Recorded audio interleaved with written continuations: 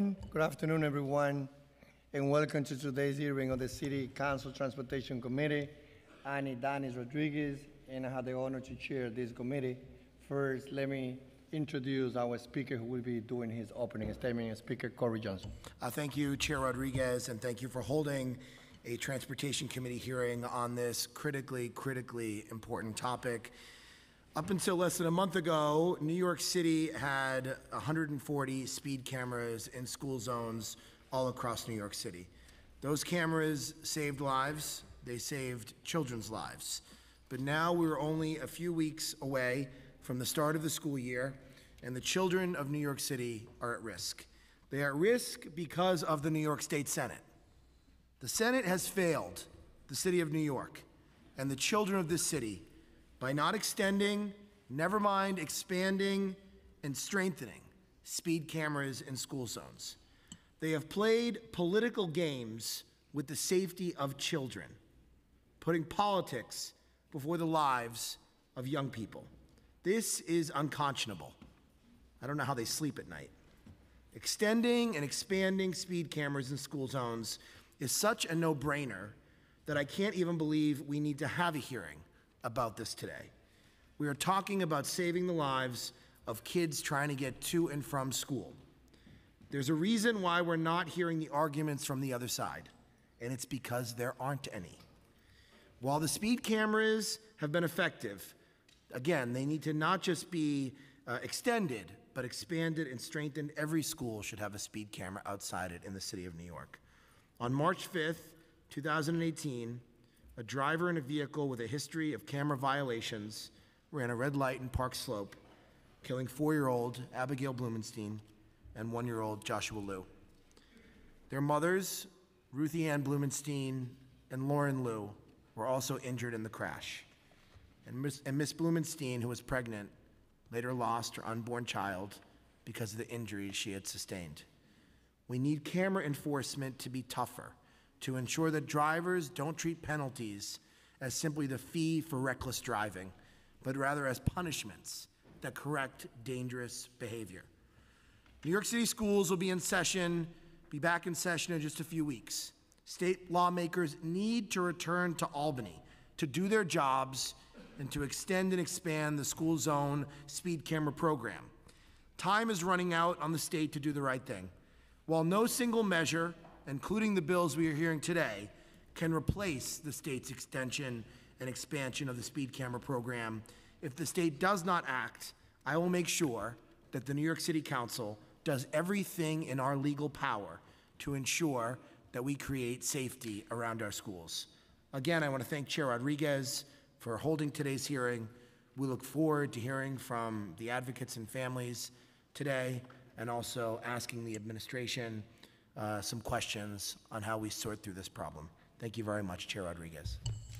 Thank you, Speaker Johnson, for your support, leadership on this issue and many other issues in our city. You know, I'd like to not only thank but dedicate, you know, this emergency hearing to the family for Safe Street and the thousands of families that we have in our great city of New York, that they have lost a loved one, and they now they're fighting not only to seek justice for the family, but for anybody else that we never know who's going to be the new person that any single day will be killed, you know, by a driver that many times they even flee the scene. It, I feel that the city is committed with the leadership of the speaker, the mayor, all the agency, all the advocate group. You know, kudos to Paul, TA, and all the advocates, you know, for all those hours that every day had been investing to be sure that we make elected officials accountable. This is not about politics. This is not a, a, a, you know anything more than saying the state senate has to go back, and if the state senate doesn't go back, then I feel that the governor should use, you know, an executive order to be sure that we restore those cameras. September 5th is very important because that day we should celebrate, you know, that our camera being restored. And if it doesn't happen, it's, a, it's one of the worst things that have happened in our city. you know, speed camera has been reducing, you know, crashes by 60%. So what we were telling the children and all the families that we are bringing back those no, those numbers. So again, for me, this is about being sure that we make all of them, especially the Republican, accountable, that they go back to Albany, and if they don't go back to Albany, we encourage Governor Cuomo to do it through executive order before September 15. You know, everyone know that in 2013, New York State passed a, a law permitting the city to install 20 speed camera in a school zone. The penalty for speed camera violation was $50 fine to the owner of the vehicle. In 2014, this program was expanded to permit 100 feet, 140 speed camera in a school zone, but was only made effective until July 25, 2018. The speed cameras have proven highly effective and have unequivocally saved lives. Speed camera violations have dropped by over 60% in areas where speed cameras were used have seen a decline in crashes, injuries, and fatalities of vehicle occupant, occupants, pedestrians, and cyclists. Most importantly, the number of pedestrians fatality in the speed camera zone dropped to close to 60%. These aren't just numbers. If not for the speed cameras, more New Yorkers would have been killed. The cameras have saved lives. Despite the clear success of the speed cameras, New York State legislator, legislatures has not renewed the city's authority to operate them. 120 of the 140 cameras stopped issuing violations on July 25, 2018, and the remaining 20 will stop issuing violations on August 30, 2018.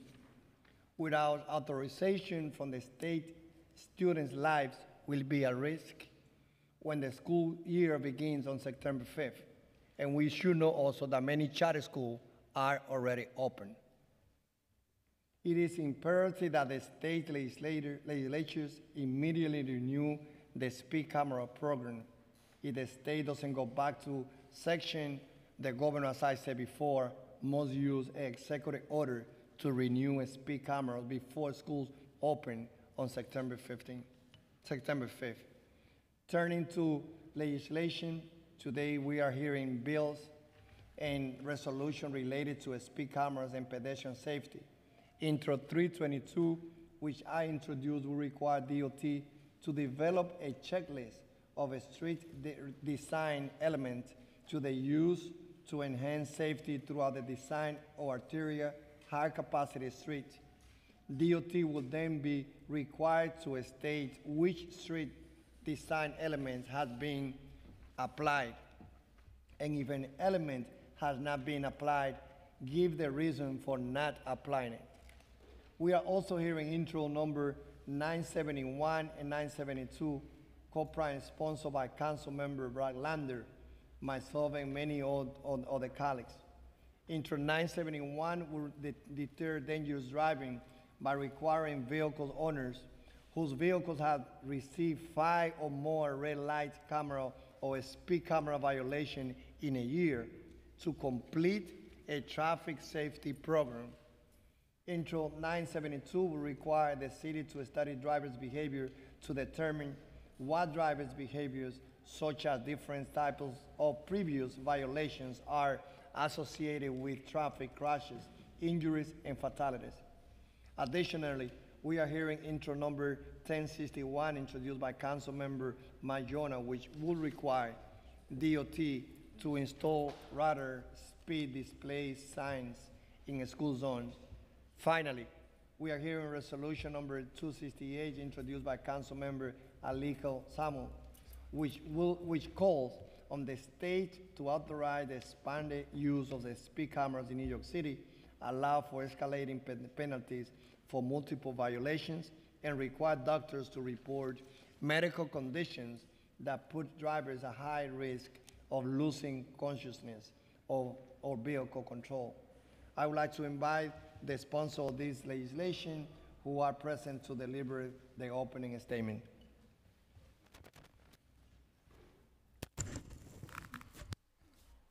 Good afternoon, everyone.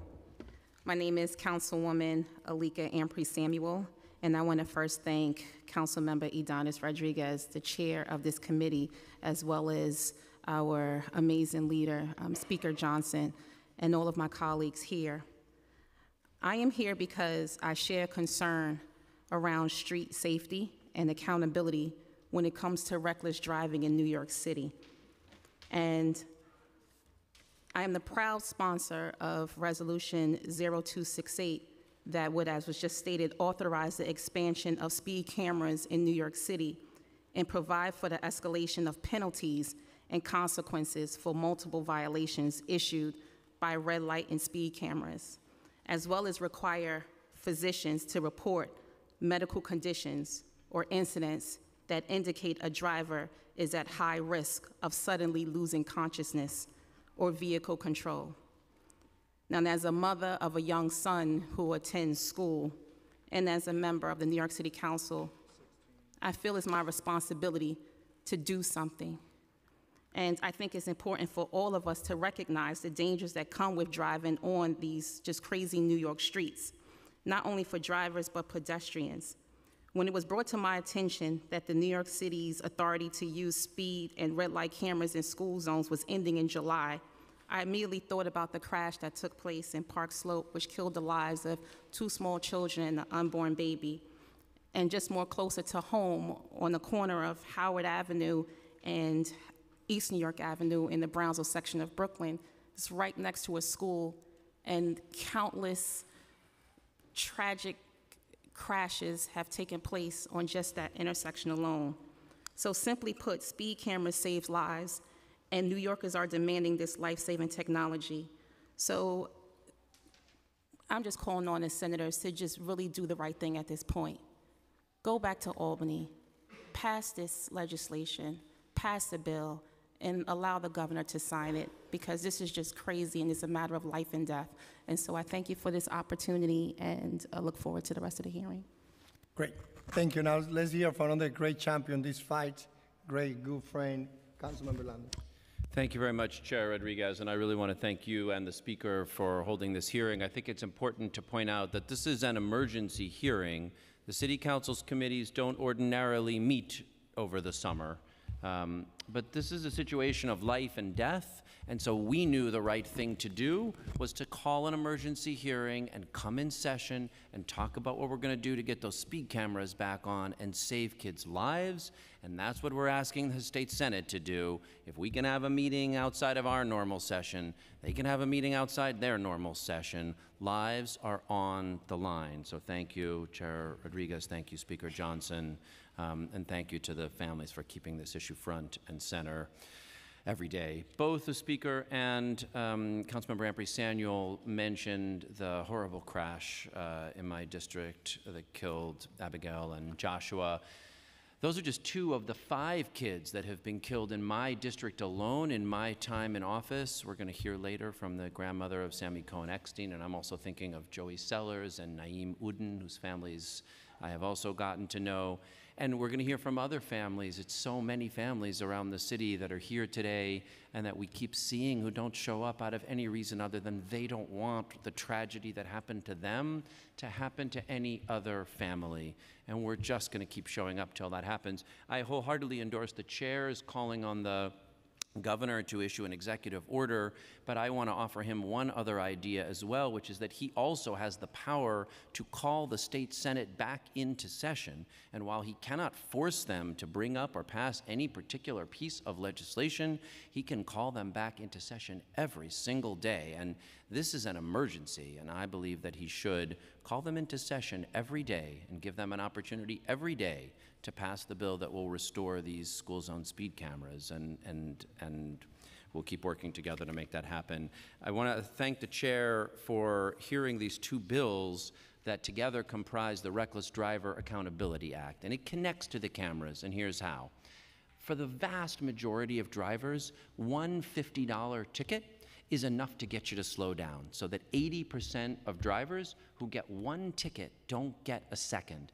And that's how these cameras mostly work is that people get the ticket either they know they don't want to get the ticket, so they slow down and they don't get one at all, or if they get one, they don't want to get a second. And that's why we see 68% drops in speeding and significant reductions we'll hear about in terms of crashes or fatalities. So that is the critical way that that program works and why it saves lives. But it also has highlighted something for us, and that is a very small percent of drivers who just keep speeding and running red lights, $50 ticket after $50 ticket after $50 ticket, operating their vehicles like weapons aimed at their neighbors. Really, the, the people we're talking about are in many ways sociopathic drivers five or more violations, it shows you just have a reckless indifference to the lives of your neighbors. And one such driver, Dorothy Bruns, is the driver that killed Abigail and Joshua, and that's what called our attention to this real gap. If you got points for these violations, you would lose your license very quickly. But the cameras don't put points on your license, they just give you the $50 ticket. So the idea that we have in the bill we're hearing today is a simple one. If you get five, that's 1%, less than 1% of drivers, the same number that Dorothy Bruns had before she killed Abigail and Joshua. We're not just going to say another $50 ticket and you can keep driving. We're going to say we're going to boot or impound your car until you come take a reckless driver accountability program and pay for that program and pay for the booting before you can get back on the road with that car. And I'll talk about this more maybe on the panel when, uh, when DOT speaks. But the program we're asking people to do has been operated by the Center for Court Innovation at the Red Hook Justice Center and in Staten Island and has been shown to have a 40% recidivism reduction in reckless driving. We have the tools to save more lives by confronting reckless driving. We will keep fighting to get the cameras back on, and we will keep pushing in New York City to do everything we can to confront reckless driving. It is not either or, it is both and. We must do those things because the lives of our children and our families depend on it. Thank you, Mr. Chair. Councilmember Gjonaj? Thank you, Chair, and I want to applaud you and our speaker and all my colleagues for uh, being here today and taking the aggressive approach that is needed to protect our children. The failure of the state legislator to secure funding for the school zone speed cameras is morally indefensible. We must never use the safety and well-being of anyone, let alone our children, to be used as political bargaining chips. Even if the funding gets restored or doubled from 140 cameras to 290, as some in Albany are advocating for, that will still leave about a thousand public schools that have no form of speed control at all. We should not choose which children get protection and which don't. I urge all of my colleagues to support this bill, but also encourage that we use every tool possible. And I would imagine the most effective tool is additional law enforcement officers that can issue moving violation tickets that would stiffen the penalties and eventually get rid of some of these reckless drivers. I would, that would also increase the number of fines that they receive, and it's just not the school system. These protections should be throughout New York City. This should be in around playgrounds. It should be around our houses of worship, and it should be around senior homes and, and high traffic areas.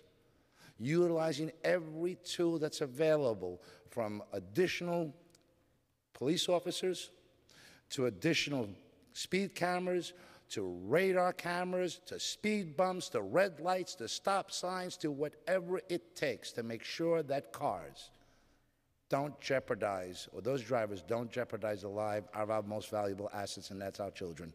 And I look forward to being, um, to hearing more from DOT and law enforcement as we discuss the alternatives and how we can make New York City safer for all, but most of all, in and around our school systems. Thank you. Speaker instructs us to organize this hearing in a way that we started not with the agency, but with the human faces of individuals that have been the voice for justice to restore the speed camera, and many of them they have lost their loved one. I put the microphone back to Speaker Johnson. So I want to call up the first panel of witnesses uh, for this hearing today. Uh, Joan Dean from Families for Safe Streets. Raul Ampuero from Families for Safe Streets. Hindy Schachter from Families for Safe Streets. And I apologize if I mispronounced your name. Bernadette Pietra Fessa from Families for Safe Streets.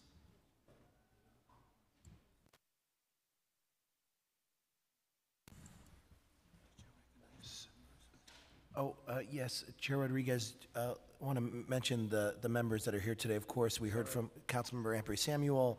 Uh, We have Councilmember Chaim Deutsch, Councilmember Diaz Senior, Councilmember Peter Koo, Councilmember Fernando Cabrera, Councilmember Steve Levin, Councilmember Daneek Miller, Councilmembers Brad Lander, Mark Gjonaj, and Councilmember Costa Constantinides.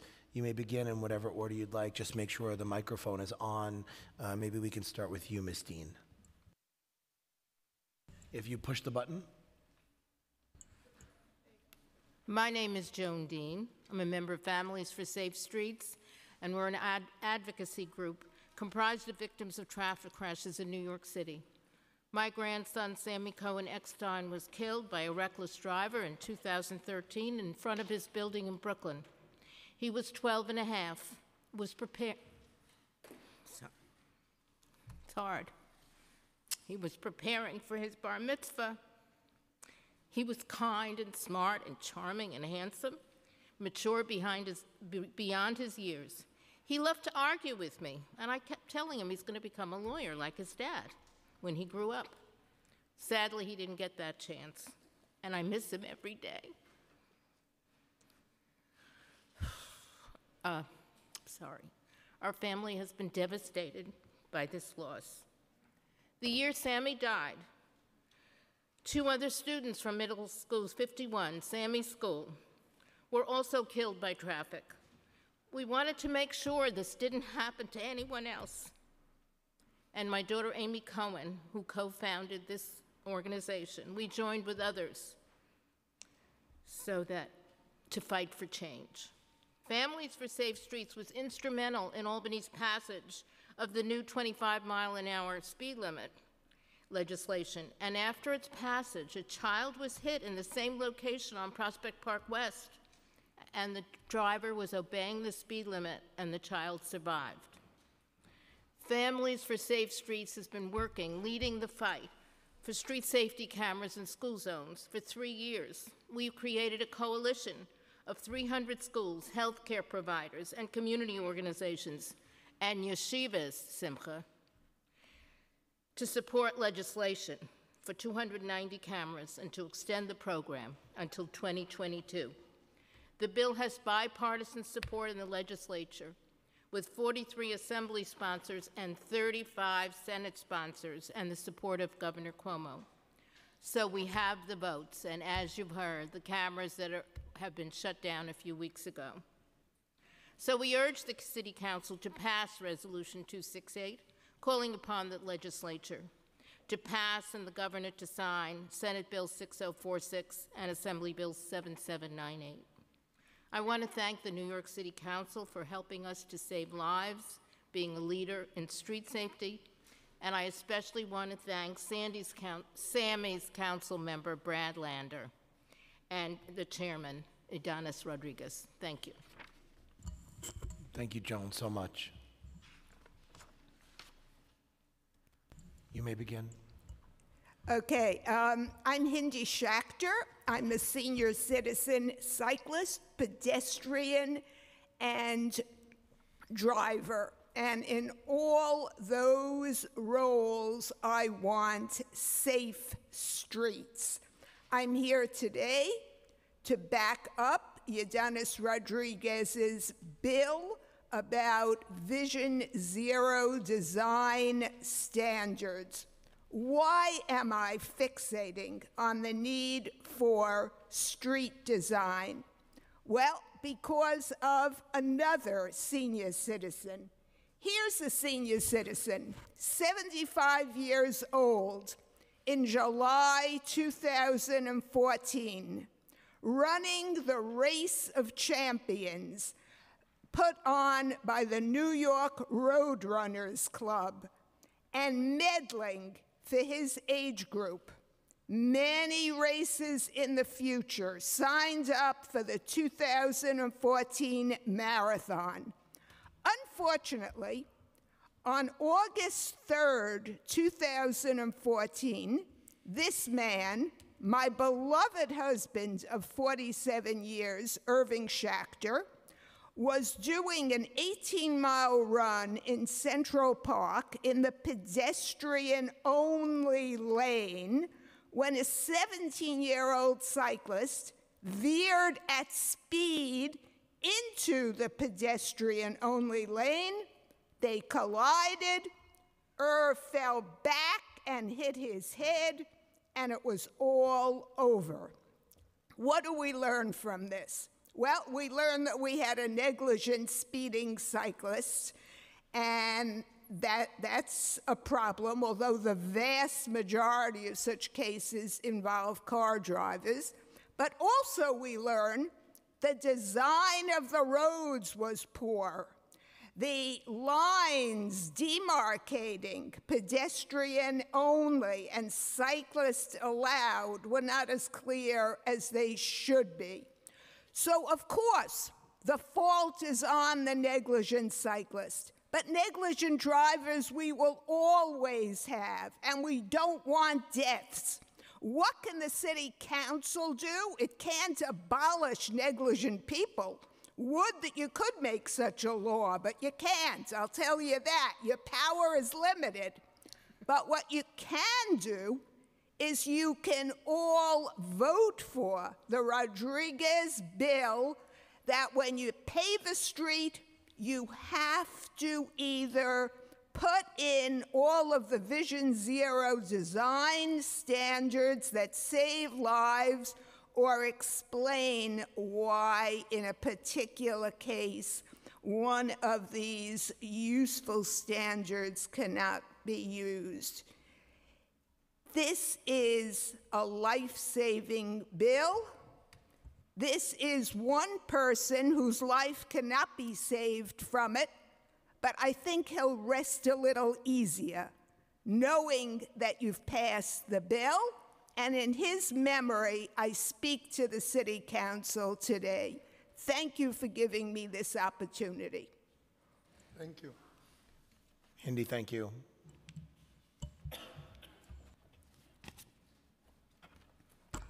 Good afternoon, Chairman Rodriguez and members of the Transportation Committee. My name is Bernadette Carna.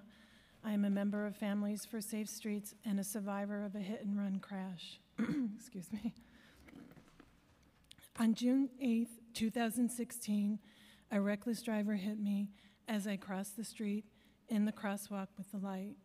The driver dragged me 50 feet and then fled, leaving me for dead. Two years later, I was traumatized again when I learned that police had positively identified the vehicle that struck me, but dropped the investigation because the vehicle owner denied involvement. That owner had been involved in two other crashes in the prior year, but police just took his word for it and dropped the investigation. Let me give you some idea of my first trauma. While in the ambulance, I thought I was going to die. I couldn't breathe as I drifted in and out of consciousness. While in the ER, the pain from the insertion of the chest tube was unbearable. I laid in the ICU recovery room for days, attached to various tubes and monitors. I was overwhelmed and in constant pain. My ribs were crushed, requiring surgical fixation with metal plates. And I had numerous other fractures to my back, shoulder, knee, and foot. I was in physical therapy for nearly two years and unable to work for 20 months. The day after my crash, a detective was assigned. I was hopeful that the driver would be found and prosecuted, but police never reported back, forcing us to pursue a Freedom of Information request. It was 20 months before I learned the truth. What I learned is that the city has a network of video cameras that capture millions of license plates each day, called the Lower Manhattan Security Initi- Initiative, or LMSI. LMSI cameras caught the license plate of the car that hit me, but because no one could identify the driver, the police just took the owner's word for it when he said he didn't do it, even though he admitted that no one else had use of his vehicle making, his, making this his third crash in a single year. I also learned it is the NYPD's official policy to end the investigation when a vehicle owner denies involvement in a hit and run, even when a video or an eyewitness positively identifies the vehicle. The policy was applied in my case, and the details are provided in a letter that my counsel provided to you. There are parallels to the crash caused by Dorothy Bruns, who struck and killed two children and injured their mothers in Park Slope earlier this year. Bruns had a previous hit and run, eight moving violations caught on camera, and a seizure disorder, but no one took any steps to get her off the road before she killed those toddlers. Why does the city collect all this information on reckless driving, but fail to use it to prevent reckless driving? Please enact Intro 971 and 972, which allow the city to analyze all the information it has to identify and intervene with reckless drivers, to get them off the road before they injure and kill. Surviving a crash is traumatic, exhaustive, and life altering. When a vehicle is identified as being involved in reckless driving, whether it is a camera based violation or a hit and run, if we give the owner an automatic pass or a slap on the wrist, they'll just do it again. Either the owner must take responsibility or the owner must identify the responsible driver. This is what Intro 971 and 972 would do give the city the tools to intervene and change driver behavior before the next devastating injury, before the next death. Every six minutes, another person in New York City is injured in a motor vehicle crash. The clock is ticking. Please pass Intro 971 and 972 before the next person is hit. Thank you. Thank you, Bernadette.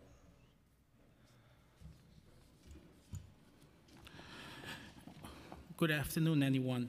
Uh, my name is Raul Ampuero, and I wanted to thank the City Council for this opportunity. It's not easy for me to speak at the moment, but I had to. I lost my son Giovanni approximately three months ago. He was nine years old. He was hit by a car. It's awful uh, for a doctor to come out of surgery and tell you that your son is dead. Um, the first thing I thought was, why? Why? And I said, God, if this is what you want, this is what I need to accept. And since then, my life has changed a lot. I see horrible things what human being could do. And this is one of the things they don't want to save lives. I lost my son. There's nothing that's going to bring none of our lovely ones, my son, or anyone in here. Nothing. It doesn't matter where you come from, it doesn't matter what religion you are or what background you come from. This is our children's. This is our children's that we want the best for them. What else do we want? That's all. We wanted to grow, play, go to college, be someone, give him principle and morals. And that's what I did for Giovanni and my other two ones, which is the other one is 14, the other one is 20. And right now, he's studying criminal justice. I always tell them the best thing is to do is go to school, and be somebody. Giovanni didn't have the opportunity. I am very upset with the city. I'm very upset with the Republicans because they don't want to save lives. And you know what? Screw them. If they don't want to help us, let's do ourselves. How simple could that be? Is that hard to ask? We vote for them, and they don't want to help us? That's completely, completely wrong. My son, after wheels of the cars went over him, he was still alive and he was asking to his mom, Please, mom, don't let me go. And this is awful. This is horrible. And, and every day I try to go to the events, rallies, and I try to do the right thing because I think no parent should be burying his boy or his daughter or a lovely one.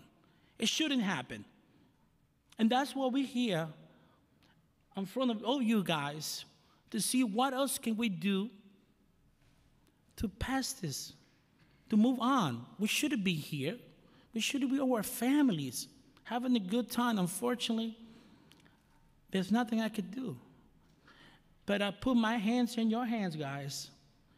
And as God as my witness, I would do whatever is necessary.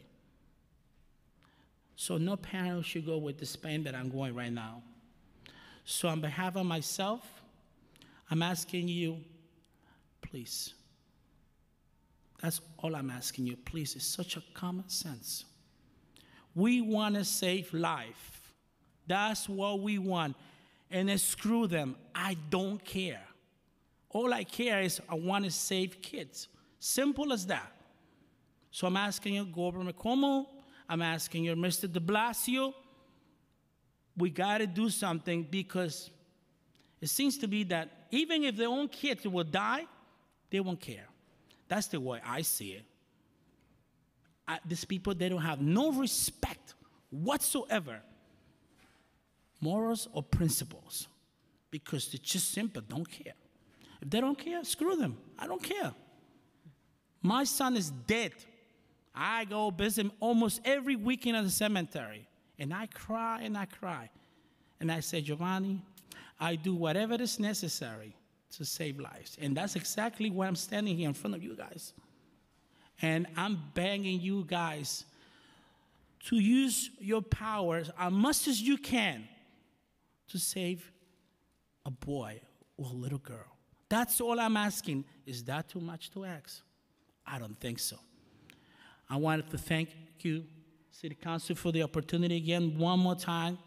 And again, I'm stretching my hand to you guys and hope you guys will not disappoint me. Thank you so much. I want to thank you. Thank you very much. I want to thank you, of course, Raul, for being here. And I'm very, very sorry for your loss. Thank you. And I want to thank you, Bernadette, being a survivor, and Hindy and Joan for everything you guys have done, the level of trauma that each one of you have experienced through these crashes and what has happened to you, the bravery and courage to be here today and to continue to advocate uh, for other folks and in the memories of the loved ones that have been lost is incredibly moving and impactful. And uh, I want you to know that this council is committed to doing everything within our legal authority to step up to the plate, given the shameful and immoral inaction that the state senate has shown. We even have to go beyond that. There are other things to do as well. But today is really focusing on how we get these speed cameras up and running again and what the city's role is moving forward. So, um, Chair Rodriguez, I don't know if you have any questions for these wonderful More than questions, just say, we, there's no word. And now we can say, you know, you guys are the husband, the father, the partner, you know, the brothers and sisters. I, I don't think that a elected official, anyone that is not in this type of room and get to hear, you know, his story will be able to understand the feeling. And there's no word that can come from us that can express our support and solidarity. All we can say is thank you for your leadership, here we are to continue this journey. Hopefully, we are fighting for your relative one, the loved one, so that it doesn't happen to anybody else. But I know that as a father to daughters, there's no word. So, I have one question. Thank you. Thank you, Mr. Chair, and I'll just, you know, extend the gratitude of the, the chair and the speaker. Your, your courage is extraordinary, and the generosity to work hard to save other kids and other seniors and other families' lives is extraordinary. And I think it's worth saying you already have, like, let's remember that, the reducing of the speed limit, all the Vision Zero changes that we've made together, but led by your advocacy, has prevented deaths already. Of course, we'll never know who they are, thank God.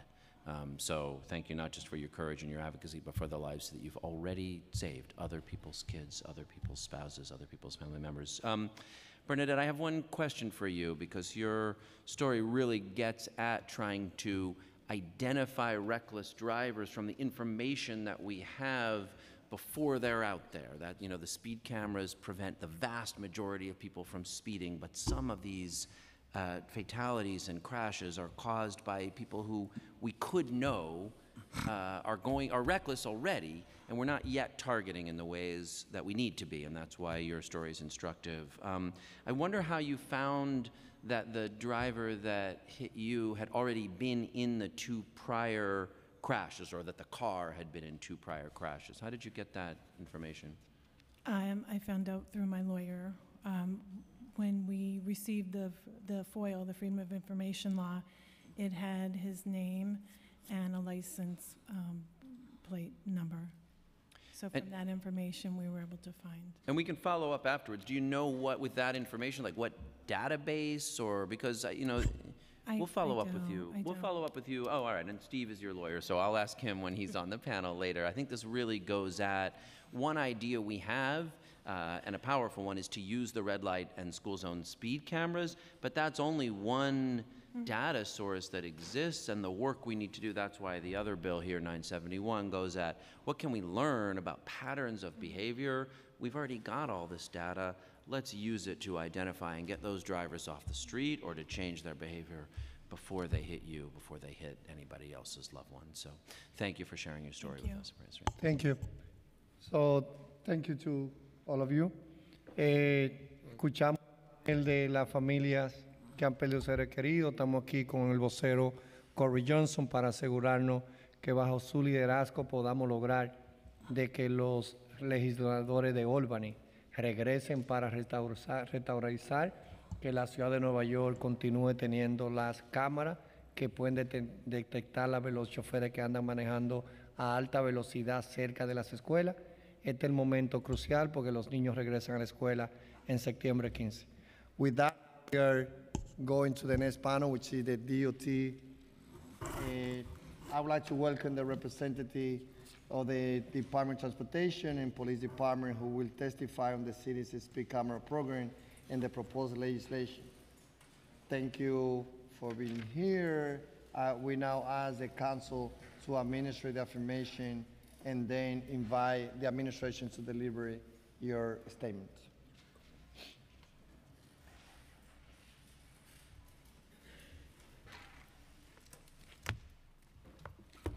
Speak short. Please identify yourself so that we have your name in record.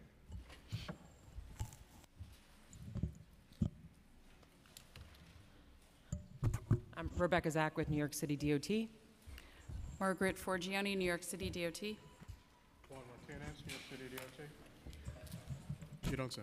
Juan Martinez, New York City DOT. Um, Thomas Chan, Chief of Transportation, NYPD. Do you affirm to tell the truth, the whole truth, and nothing but the truth in your testimony before this committee today? We do. I do. Yes, we do.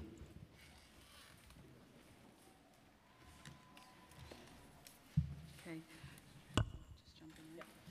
Good afternoon, Speaker Johnson, Chair Rodriguez, and members of the Transportation Committee. I am Margaret Forgione, Chief Operations Officer at New York City DOT. With me today are Director of Traffic Operations Policy Juan Martinez and Assistant Commissioner for Intergovernmental and Community Affairs Rebecca Zack. Together with Chief, Chief Thomas Chan and our NYPD colleagues, I am pleased to be here today to testify on behalf of Mayor de Blasio about the city's essential, effective speed camera program and how the New York State Senate's failure to reauthorize and expand the program makes our streets more dangerous. Speeding is the leasi- leading cause of traffic fatalities in New York City.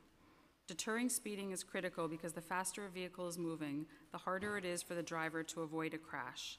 In fact, a driver at 40 miles per hour needs 300 feet to perceive, react, and brake to an unexpected event, twice as far as a driver at 25 miles per hour who only needs 150 feet. A pedestrian who is struck by a vehicle traveling at 30 miles per hour is twice as likely to be killed as a pedestrian struck by a vehicle traveling at 25 miles per hour.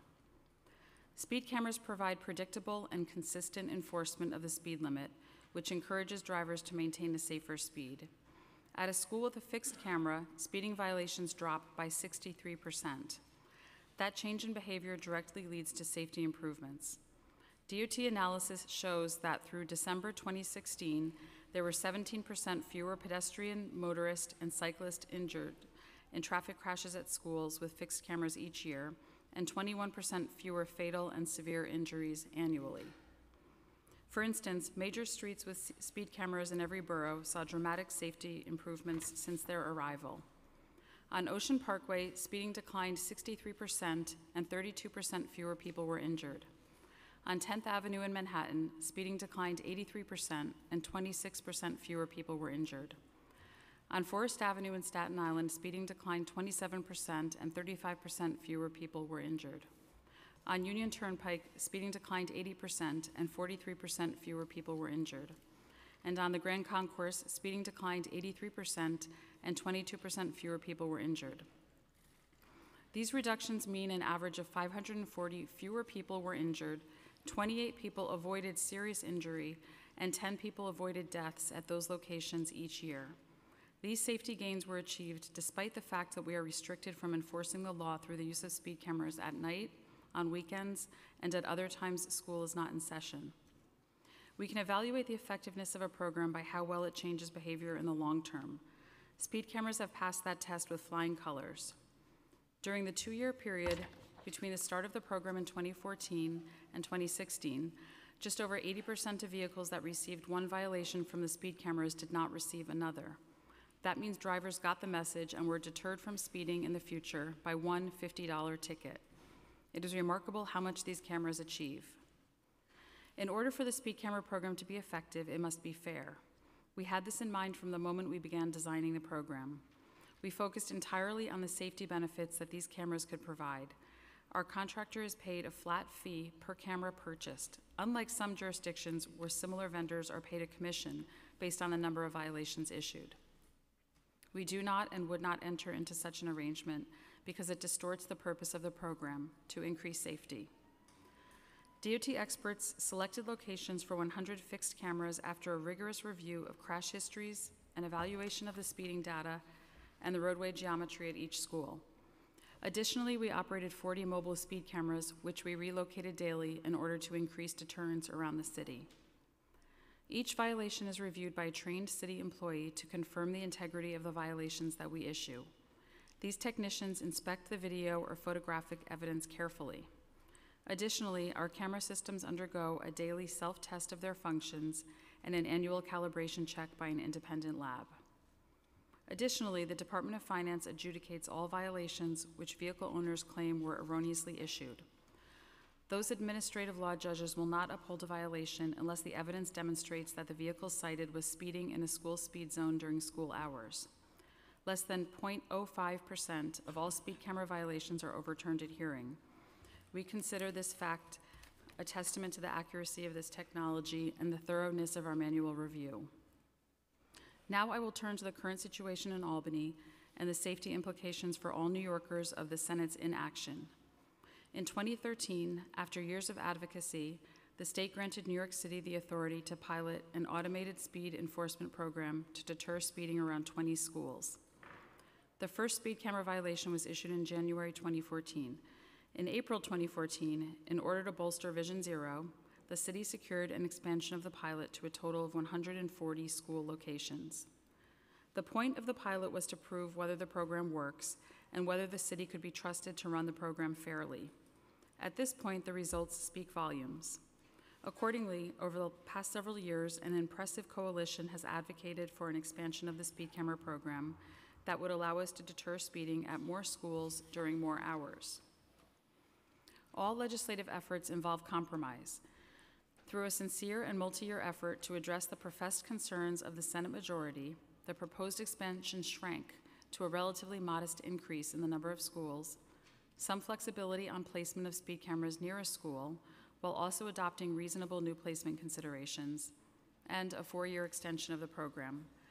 As you may know, the Assembly has repeatedly passed this bill in multiple forms over the last two years, but the New York State Senate leadership declined to allow the bill to come up for a vote, despite the fact that a bipartisan majority of senators have committed to vote for the bill if allowed the opportunity. Accordingly, DOT is now required to shutter the successful program. On July 25th, we stopped speed camera enforcement at 120 of the 140 schools, And as the mayor announced Monday, we are still collecting data even though license plates are not recorded. As he noted, in just over two weeks, more than 130,000 vehicles have already been spotted dangerously exceeding speed limits by the cameras. When our remaining authority to deploy cameras at 20 schools across the city expires in 15 days, we will be forced to stop issuing violations altogether. In a few weeks, school will resume, and unless the Senate's leadership reconvenes, we will not be able to use one of the most effective safety tools the city has ever had to protect our families. Proven safety programs that are saving lives should not be held hostage to politics. Now, I will briefly comment on the bills before the committee today. Intro 322 by Chair Rodriguez would require DOT to develop a checklist of best practice elements for arterial street designs and post a list of such projects with explanations if particular elements are not utilized. The elements proposed in the bill for inclusion in such a required checklist are consistent with current DOT best practices. Under Vision Zero, every street design project is considered for opportunities to enhance safety, and every project includes ADA compliance. Our toolkit includes, but is not limited to, all of the elements specified in the bill, and we consider all elements for inclusion depending on the usage, existing conditions, and amount of street width available. In these ways, DOT's existing design processes accomplish the goals of the proposed legislation. However, enacting the reporting requirement in this bill would add cost and delay to the delivery of Vision Zero projects and other mobility projects by consuming project staff time with their completion.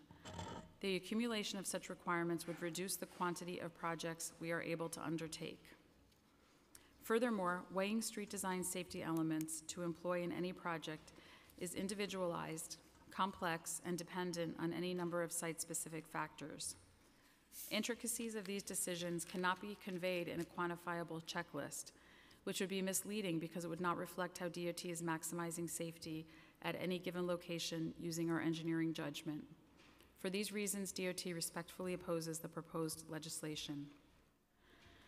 Intro 971 by Councilmember Lander would provide that after a vehicle received its fifth speed camera or red light camera violation, owners must complete a required traffic safety program, and that their vehicle may be subject to impoundment until they do so. This administration also supports escalating sanctions for camera violations, up to and including taking the worst offending vehicles off the road. The mayor has called for legislation at the state level to that effect, and we welcome this proposal. The council members bill, the council members bill raises legal issues that require further review, as well as presenting operational questions.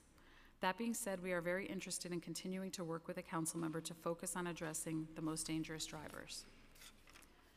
But of course, when it comes to camera enforcement, our top priority and focus must be on renewing and expanding the city's authority to operate the speed camera program that we know has been very effective at reducing speeding and saving lives.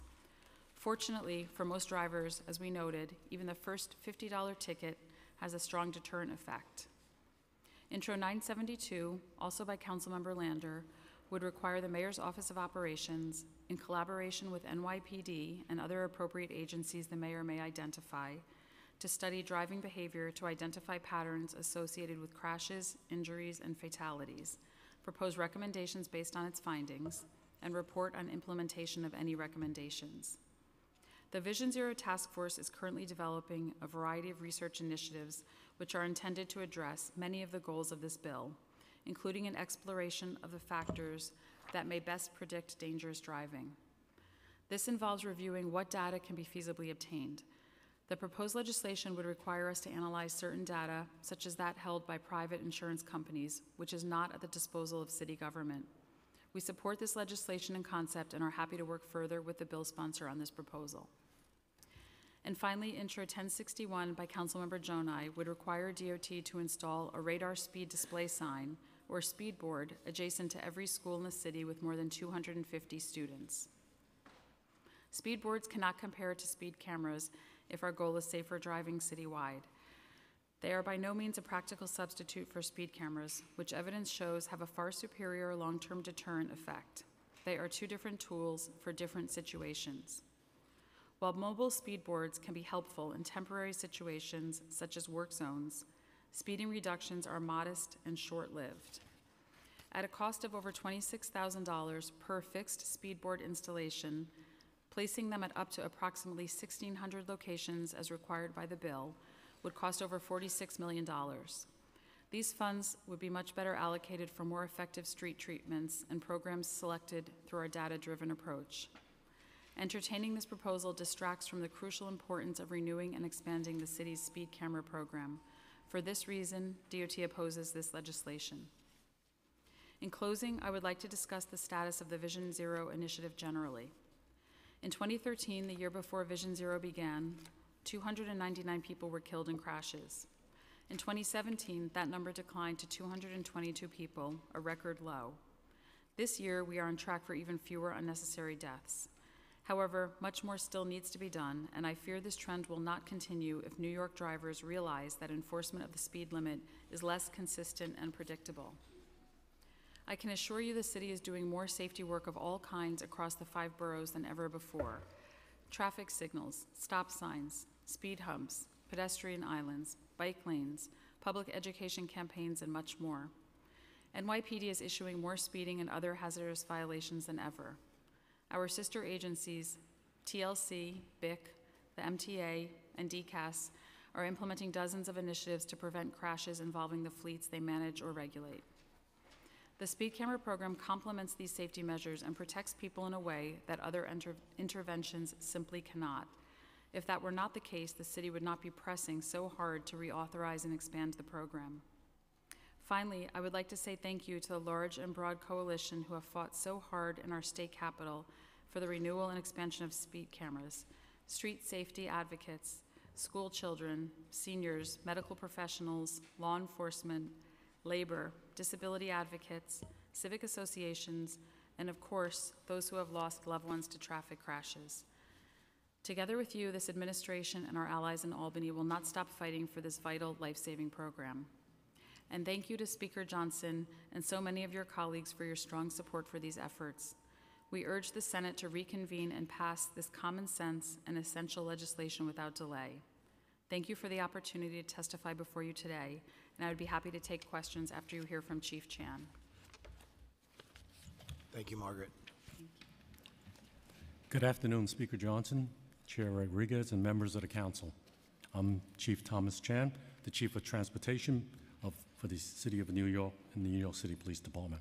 On behalf of the Police Commissioner, James P. O'Neill, I am pleased to testify before you here today and the committee on the topic of speed cameras.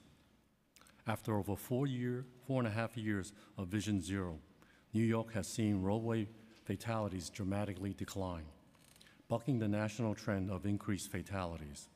The speed cameras installed in 140 school zones throughout our city are a vital part of the city's commitment to Vision Zero. Over the last several years, I have traveled to Albany with the Department of Transportation, DOT Commissioner Trottenberg, and other traffic safety stakeholders to advocate for the expansion of speed cameras in our city. Speed cameras are a valuable force multiplier for the NYPD.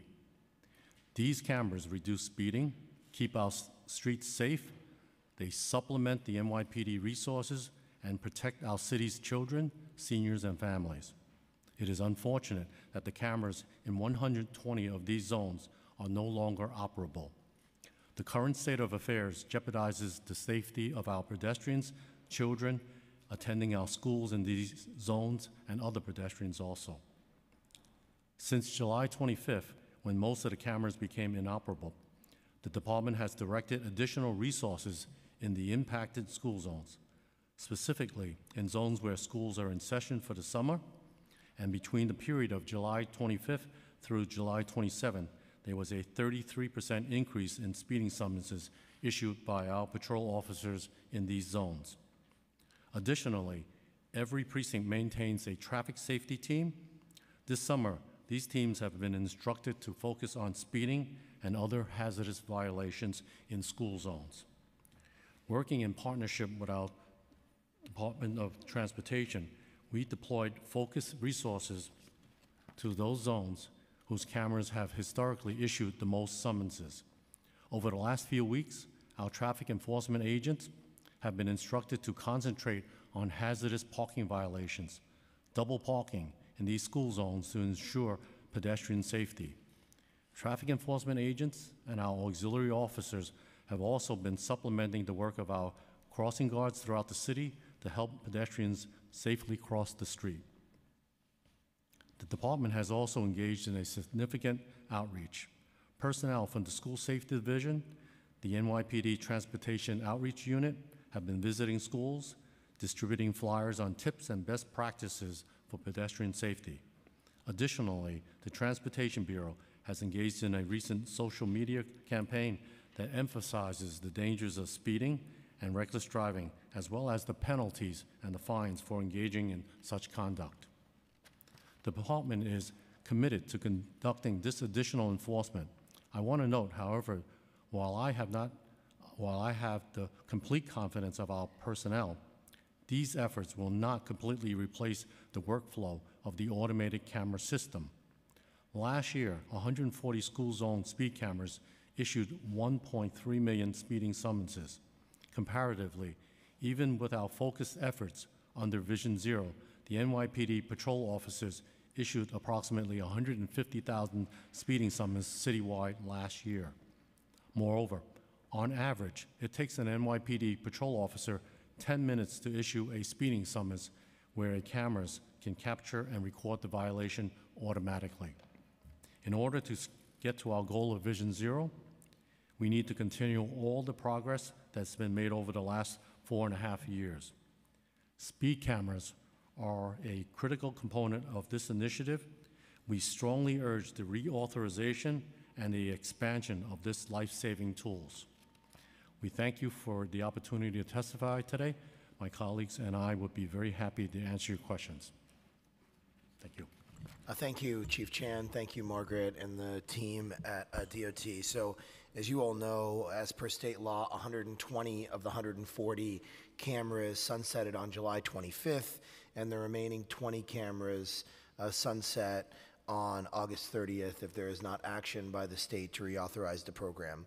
I'd love to hear, and I know we heard a little bit about it, uh, Chief Chan, and what you all have done since July 25th from an enforcement perspective, but I'd love to hear from uh, DOT and the NYPD about the city's plan to fill the enforcement gap. What if, if for some reason they do not reauthorize this from September 5th moving forward until we get the cameras reauthorized? Besides the the good things that you mentioned here, um, with many, many more students coming back, besides the students that are at summer school right now, what is the holistic plan to step up enforcement to protect children?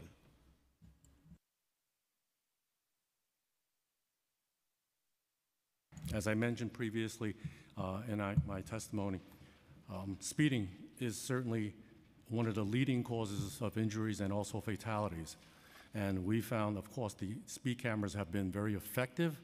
They're efficient use of technology, and it both supports and it also supplements the work that's done by our uniformed police officers out there. And the cameras certainly can free up our officers to do, do other enforcement out there. The NYPD supports the renewal and the expansion of this, this important program.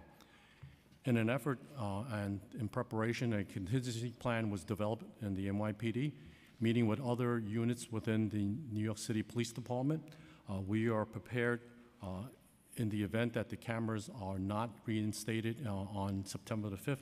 We have been doing enforcement, as I mentioned before, uh, the added enforcement during an enforcement initiative on the 25th, the 26th, and the 27th of July when the program expired.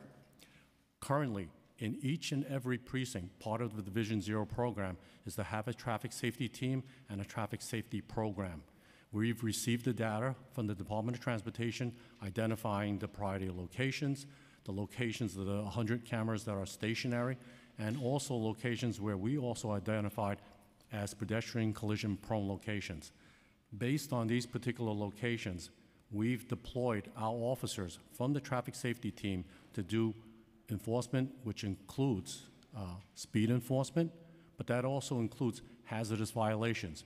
Hazardous violations could be red light summonses, right-of-way, failure to yield to the right-of-way to a pedestrian or bicyclist, uh, disobeying signs, um, disobeying uh, improper turns, uh, cell phone distracted driving, cell phone and texting while you're operating the vehicle. So our officers in each precinct throughout the city, we have a traffic safety team that has been uh, instructed to conduct enforcement.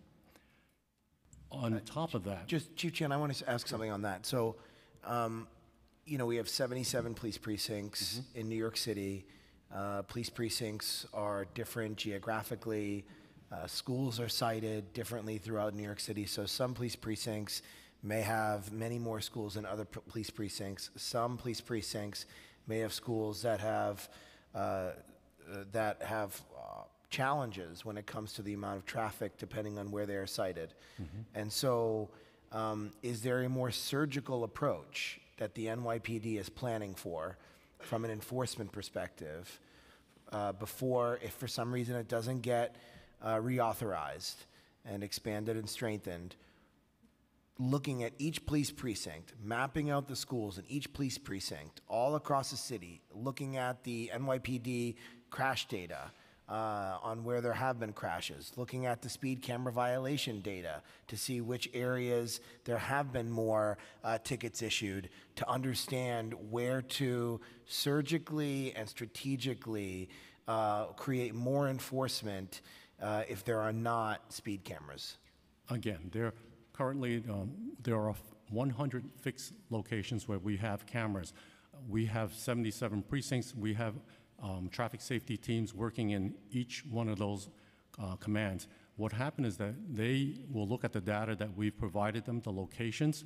So in other words, uh, there may very well be precincts, uh, I'll use the example in Manhattan, uh, there are not necessarily any fixed cameras uh, that are in um, lower Manhattan. I believe we only have two in that location. So, but there is an expectation that the other precincts that don't have cameras will do enforcement where they see that they have speeding conditions in their local precinct areas. So what happened is that the analysis is going to be done on the individual basis by the local precincts, provided by the data uh, that we look at on a daily basis, weekly basis. On our traffic stat report, we identify pedestrian collisions uh, where injuries are occurring, and they will look, review that data and then also review the deployment of our officers to each of the locations. But in collaboration, there are a, whole list of things that the police department and other um, the auxiliaries, uh, utilizing our traffic agents, as I indicated before, that we will supplement that to get additional officers and also visibility at those locations.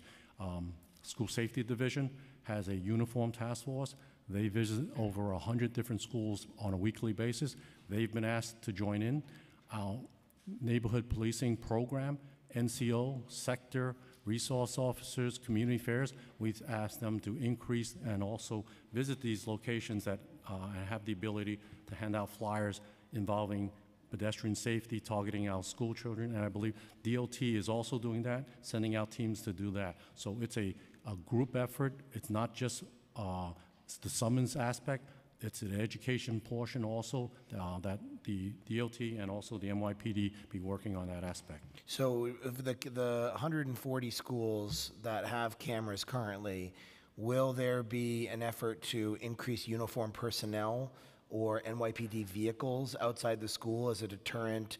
If people are driving by and they see a police vehicle, a marked police vehicle parked, do we think that would help them maybe slow down? Or if they saw uniformed officers? Absolutely. What happened is that um, as the school year begins, certainly we have a presence by our, our school safety division, uh, which is, uh, those are uh, civilians, but also the uniformed task force officers. But in conjun- conjunction, uh, as part of our NCO program, we've asked our NCO officers to make visits to the schools, and again, to get that message across to parents and to teachers and our children that they should exercise caution when they're crossing the street. Don't take it for granted that the motorists see them. So it's, it, that's part of the program also. But in, in issuing more summonses, we have the traffic safety team, as I mentioned, uh, we will have officers out there issuing additional summonses targeting uh, speeding violations in that particular area. So it's kind of a, a co- combination parking summonses where people who are double parking, they may inhibit the people from crossing or util- utilizing the marked crosswalks and things of that nature. So I think that collectively, we also have scheduled just a normal process, a part of our Vision Zero. We've had um, speed enforcement initiative, pedestrian safety initiative, uh, bicycle safety initiatives. Um, We have an, we just completed another speed enforcement initiative that occurred um, last week on the 10th, 11th, and the 12th. So we are continuing to increase our enforcement, and they will see more officers out there uh, issuing violations for people who are speeding. Uh, Chief Chan, I was very distressed and a little shocked to hear testimony from the previous panel from uh, Ms. Bernadette Carna, who had testified she is a survivor of a crash. She was uh, nearly killed. She talked about that in detail. And I was, and I have her testimony here, uh, and I'll just reread a part of it. It said, The day after my crash, a detective was assigned. I was hopeful the driver would be found and prosecuted, but the police never reported back, mm-hmm. No. forcing us to pursue a Freedom of Information request for 20 months before I learned the truth. What I learned is that the city has a network of video cameras, as you talked about, that captures millions of license plates each day called the Lower Manhattan Security Initiative, LMSI. LMSI cameras caught the license plate of the car that hit me, but because no one could identify the driver, the police just took the owner's word for it when he said he didn't do it, even though he admitted that no one else had use of his vehicle, making this his third crash in a single year. What I also learned is that the NYPD's official policy is to end the investigation when a vehicle owner denies involvement in a hit and run, even when a video or an eyewitness positively identifies the vehicle. The policy was applied in my case, and I will share that evidence in my written testimony. Uh, so uh, I have the same question that that um, that Bernadette asked. She went on and she said, "Why does the city collect all this information on reckless driving, but fail to use it to prevent reckless driving?" You may not be able to speak about the specifics of this case, but I would like to hear generally the answer to that question, which is: Is that true that you, the NYPD, takes the word of someone who's a suspect, even if their license plate or an eyewitness positively IDs them as someone who was involved in a crash that injures or kills someone. When we take a look a, at a leaving the scene collision, um, and again, um, on- I'm not going to comment specifics on her particular case, I'm not familiar with it offhand. But what I will say is that ident- identifying the vehicle is one part of the investigation, and following up also to try to identify the operator of the vehicle at the same time. And again, we do need to have evidence, and we work with the DA's office in terms of determining um, wh- whether we have probable cause to make an arrest in, in each and every case. And each and every case will be different uh, on different times. If we have videotape of the individual exiting the vehicle, if we have eyewitnesses and so forth. But I would say that is not a blanket policy for the NYPD uh, to say that the person simply denied that uh, he was the driver of the vehicle, because we have many people that deny that they're culpable of the robbery or the burglary, and things of that nature, and of course, we just don't take their, their word for that. Well, I- There is a thorough investigation that's completed by our collision investigation squad, and uh, from what I understand, I believe that is going to be a collision investigation squad that she was involved in, but again, I need to take a Well, look at I, that. I, I, I've never met uh, Bernadette before, besides uh, seeing her testify here today, so I don't know the specifics of her case beside, besides what she testified on. But I would say, uh, I take her at her word that she testified uh, in truth today. And if the truth is that a, she never heard back from the NYPD, it took 20 months to get information, and she only got it via a Freedom of Information Act request and the person who was driving the car was identified, uh, and the NYPD asked a question, and then there was no follow-up. That is very, very, very upsetting. It's unacceptable. It's disconcerting, and I would ask you all, uh, you and Oleg, to go back and to understand the specifics of this case, but also the detective squad who works on similar cases like this, what is their protocol on how they handle this? We saw the horrible, horrible video two days ago of a child being run over by a car in Queens riding a bike. And I saw last night that the NYPD identified uh, the, the owner of the vehicle, the suspect, and I assume that there's an investigation going on. I sure hope that the NYPD doesn't show up and ask who they think drove the car, were you driving the car? And if the person says no, the NYPD leaves. That would be shocking and upsetting, allowing someone who potentially could have killed a child and almost killed Bernadette to continue to get back on the streets of New York City without a thorough investigation. So, as a follow up, I would really appreciate the NYPD getting back to this council to give us answers on what is the exact investigation, collision investigation protocol mm-hmm. in circumstances like this and how that parallels other investigations moving forward. Because ultimately, if someone is a serial speeder, a serial dangerous, dangerous driver, we want them off the streets of New York City. And to ask a simple question and for them to deny it and then c- continue to drive on the streets, they're putting more people at risk. So I really need to understand this process. Similarly, it points to the fact with Dorothy Bruns, as Bernadette said, and as Councilmember Lander said, uh, we need to get these folks off the streets. And if some of the limited tools that we have are good detective work and figuring out uh, what, if there is someone who perpetrated a crime, we need that person off the street.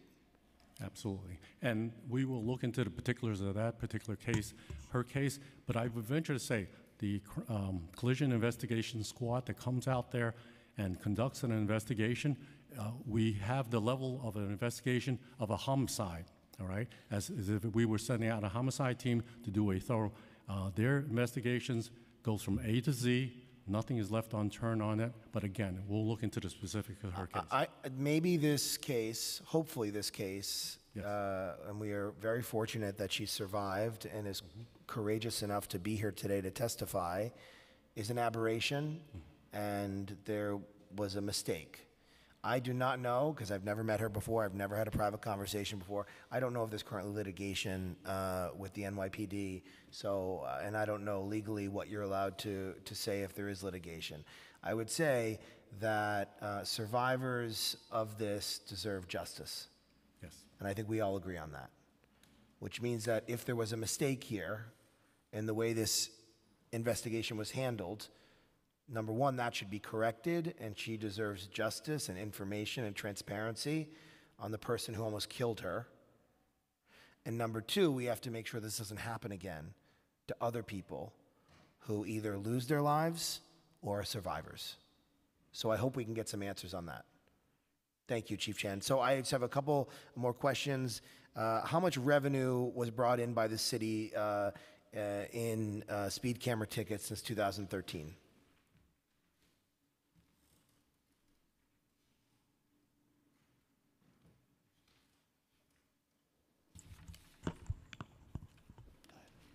Okay, so the, um, the total revenue was 100 183 million between 2014 and the end of 2017. 183 million Yes, but the net revenue um, is 83 million is 83 million. after we pay the costs. Okay, the reason why I ask that is because, uh, Margaret, in your uh, testimony, uh, and, and I just want to be clear, I said this in the beginning in my opening statement. Uh, we don't, at least I don't, I can't speak for other council members, but I do not believe that anything that we are proposing here today is a replacement for the speed camera program or even potentially would achieve the same results and Yeah. data-driven results that we've seen of the effectiveness of the speed camera program. But that doesn't mean we shouldn't have a full complement of things that could potentially work in slowing people down. And when you testified on Councilmember Gjonaj's legislation, Introduction 1061, which would require DOT to install radar speed display signs or a speed board. So for folks that don't know, if you are driving on a road and you're getting close to uh, what would say with the speed limit sign is, it tells you what your speed is and how much over the speed limit you're going. So if you're in a 25 mile an hour zone and you're going 38 miles an hour, it's flashing, telling you you're going 38 miles an hour. I will tell you that in my experience, whenever I've driven, I don't own a car, but whenever I've driven, rented a car, used a friend's car, and I see that I am going slightly over the speed limit, if I'm going 28 miles an hour and a 25 mile an hour, I slow down when I see it flashing that. And one of the things that was said in your testimony, mm-hmm. speed boards cannot compare to speed cameras if our goal is safer driving citywide. They're by no means a practical substitute for speed cameras, which evidence shows have a far superior long-term deterrent effect. They are two different tools for different situations. While mobile boards can be helpful in temporary situations, such as work zones, speeding reductions are modest and short-lived. At a cost of $26,000 per fixed speed board installation, placing them at 1,600 locations as required by the bill would cost over $46 million. So uh, I would love to understand data. I would love to understand other cities. I would love to understand what New York City has seen and the effectiveness, because we, at least I'm not saying that this is a replacement for speed cameras, but if this is a layered on effective tool to help. So if you have speed cameras and speed boards, would that save more lives potentially? And if we are bringing in, after costs, $83 million over the course of, you know, four years, then some of that money could potentially go towards the installation of speed boards. Uh, and we're not saying that all, they should all be installed at once, but they could be phased in, again, at the most dangerous schools that we're doing in a data-driven way. So I'd love to hear a response to that. Okay, um, Juan will speak in a moment about some of the studies that have been done on the effectiveness of speed boards, but you know what what we have seen is we have put them out, and what we do see is um, a very short-term, temporary improvement where they're placed. But over time, you know, it's human nature. If there is no repercussion, if there is no consequence for speeding, human nature lets you slip back and do But what if you had both? Some case, cases. Uh, well, we certainly need the speed cameras, absolutely. And what if we had both? Well, the speed boards, again, we don't know that it's a good investment for that kind of money. We actually think that if we were going to invest into something like that at the rate of $46 million, we might be better served to put that money towards some of our street redesigns, which have proven long-term benefits. Um, so Juan will just speak for a moment about some of the studies out there that have looked at the effectiveness of the boards. And, and uh, what Margaret just said is exactly right, right? There's, the story of Vision Zero has been implementing every solution, following the data, looking at the effectiveness of every intervention that we can find. And when we have looked at the way speed boards have performed in the city, uh, and when they are new, when they're novel, when there's something alongside them, like a work zone, right? It's a good indication that, hey, there's something special here. You need to, to pay attention. And, and apparently, when you're, you know, uh, drive very infrequently, for instance. Uh, but we learned that people have just tuned them out. You know, you uh, once you see that the speed board isn't associated with any increased penalty or any reason to to to fear uh, a consequence, right? To change your behavior. You if you keep on going past the speed board at the same speed, nothing happens. That it doesn't change the behavior is the ultimate result, right? Uh, there are a lot of things that that we uh, have been doing that have been very effective uh, around schools. We've been uh, ramping that up around Vision Zero to uh, a, a dramatic degree, and not just around schools, but everywhere that that kids walk. Um, but when it comes to the speed boards, when we've studied it, we've seen that without that object lesson that comes with the deterrence, uh, it, the, the, the reduction in the speeds in New York City is very minimal and, and more intense at the, uh, when the speed board is novel. Well, I, I- I would, I would love to look at the statistics and understand the studies. I would also be interested, uh, because we have been creative about Vision Zero and what we think works and using things that uh, could potentially uh, reduce uh, fatalities and injuries.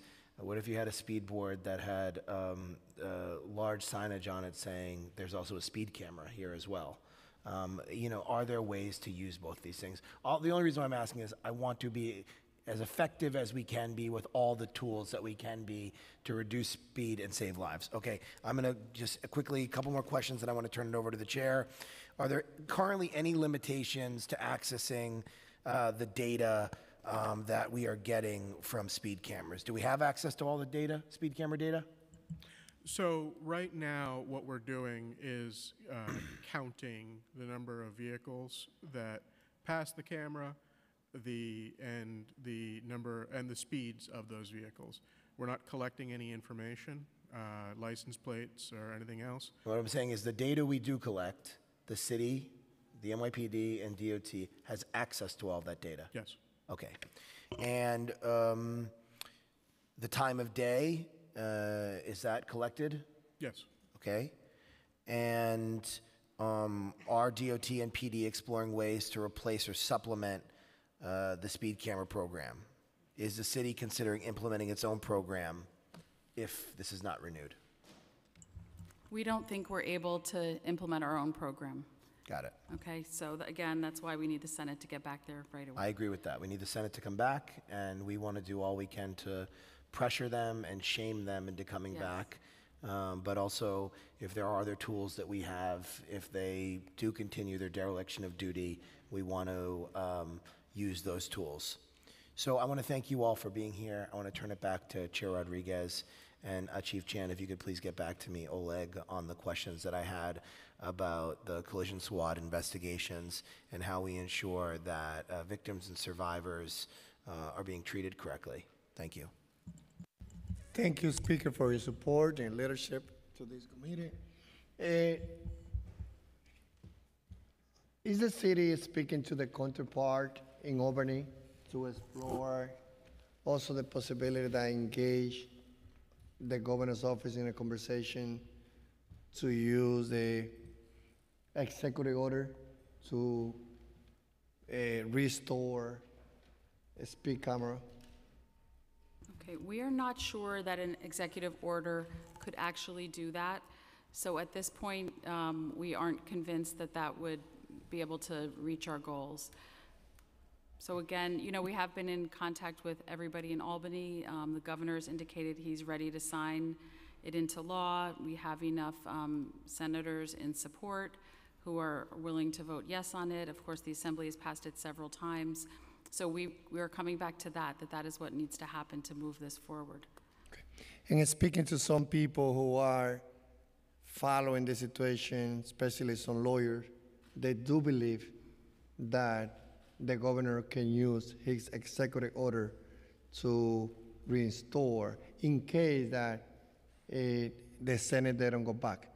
So you're saying that you think at City Hall they don't feel that this is something can be done through a executive order? Right, so initially, we are, we don't know that that could actually happen. Um, There's, there's doubt that that would be the case. So right now, I'm not able to say for sure um, if that would be a path forward.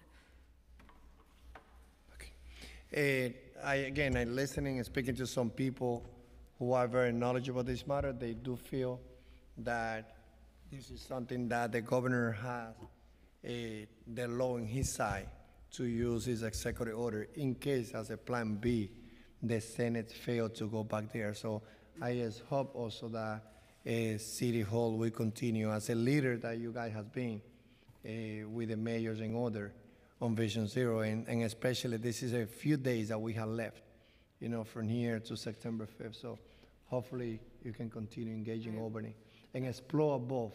One, the Senate to go back, and as my colleague Lander he said, you know, the governor also should explore to call the Senate. But if it doesn't happen, we hope that a city where we are close to 10 million from the 20 million residents in the state of New York, everyone should know that we are not speaking for a few couple of hundred thousand. This is about for a large percent of the state of New York who live in this municipality. They should feel that they're safe. Mm-hmm. The other thing is, have you explored also to ban car from the surrounding schools as a another option if because this moment is a matter of student safety and we had to put all the car on the table. So we have a numbers of school, probably not, not all of them, that also we can show that, you know, for them, during the time that we continue uh, this conversation, hopefully we get majority in the Senate and we'll be able to resolve this issue in the worst scenario by uh, January next year.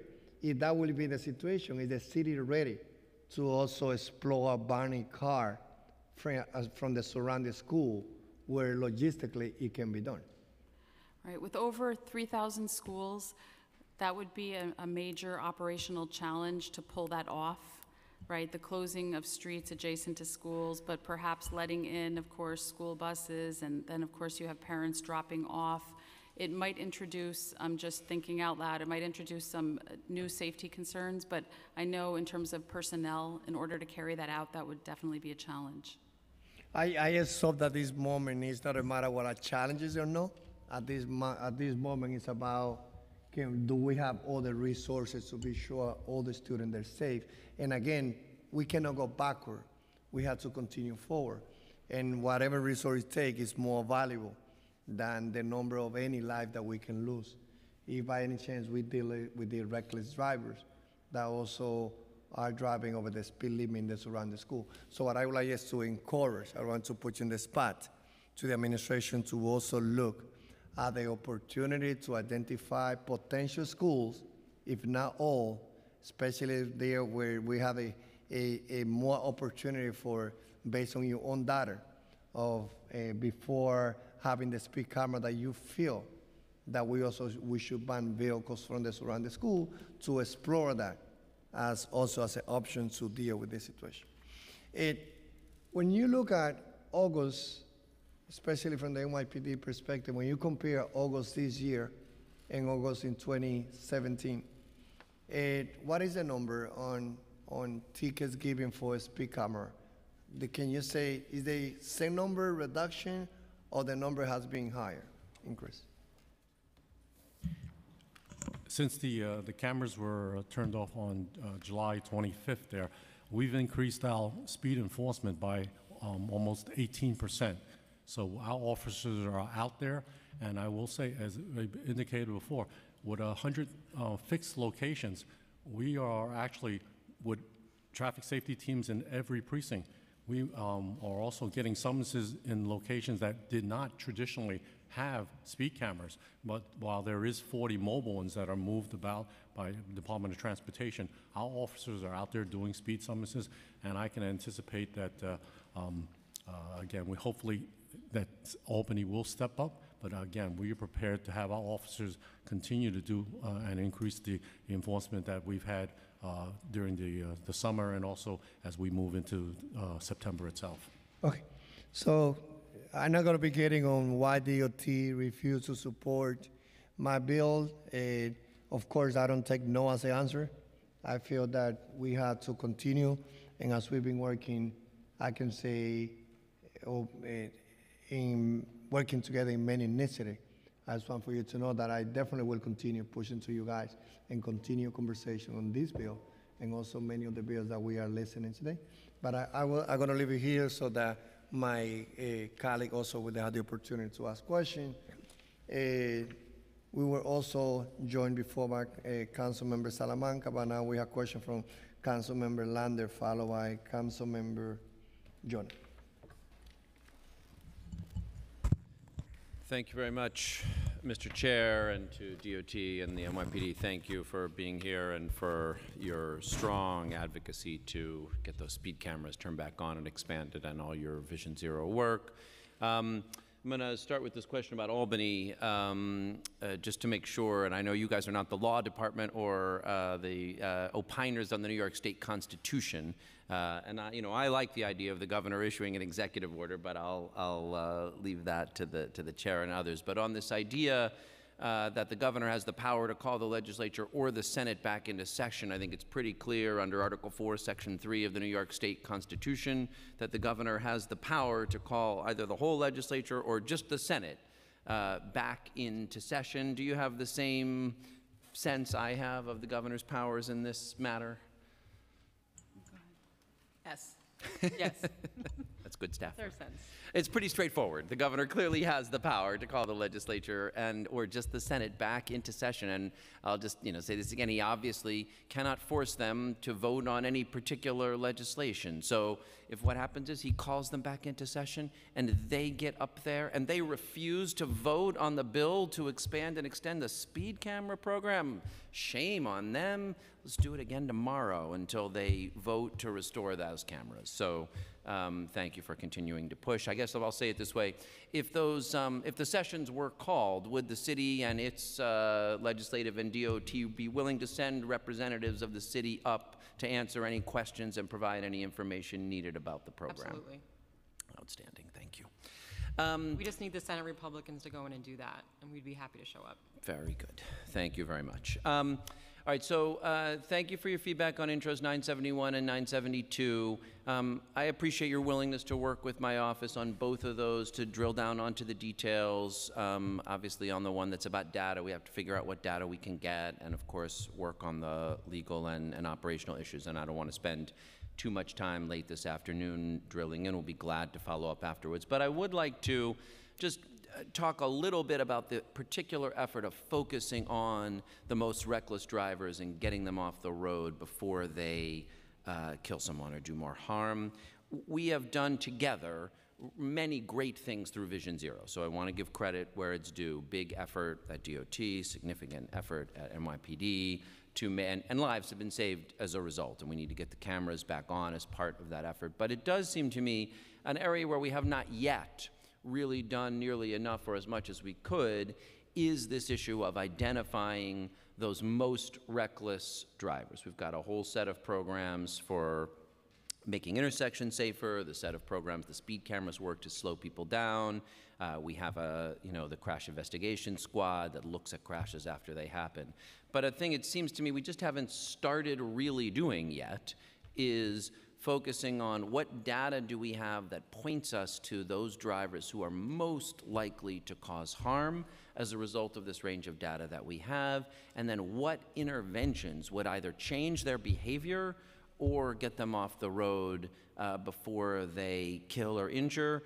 Um, obviously, it would be great if the state was a partner here, since, of course, the DMV is who keeps people's licenses, um, and points go against licenses.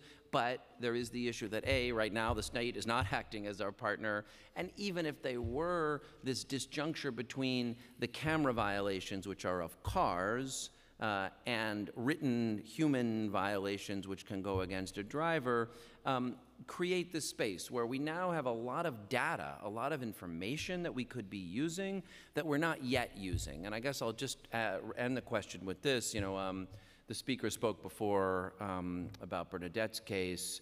Um, and I just am going to underline a little about Dorothy Bruns's case because I mentioned all the camera violations. What I didn't mention, but has been publicly reported, is she also had been involved in a hit and run in Queens that wound up in a file drawer, it seems like, at the precinct. And I know you guys acted um, in that case to discipline the individual officer.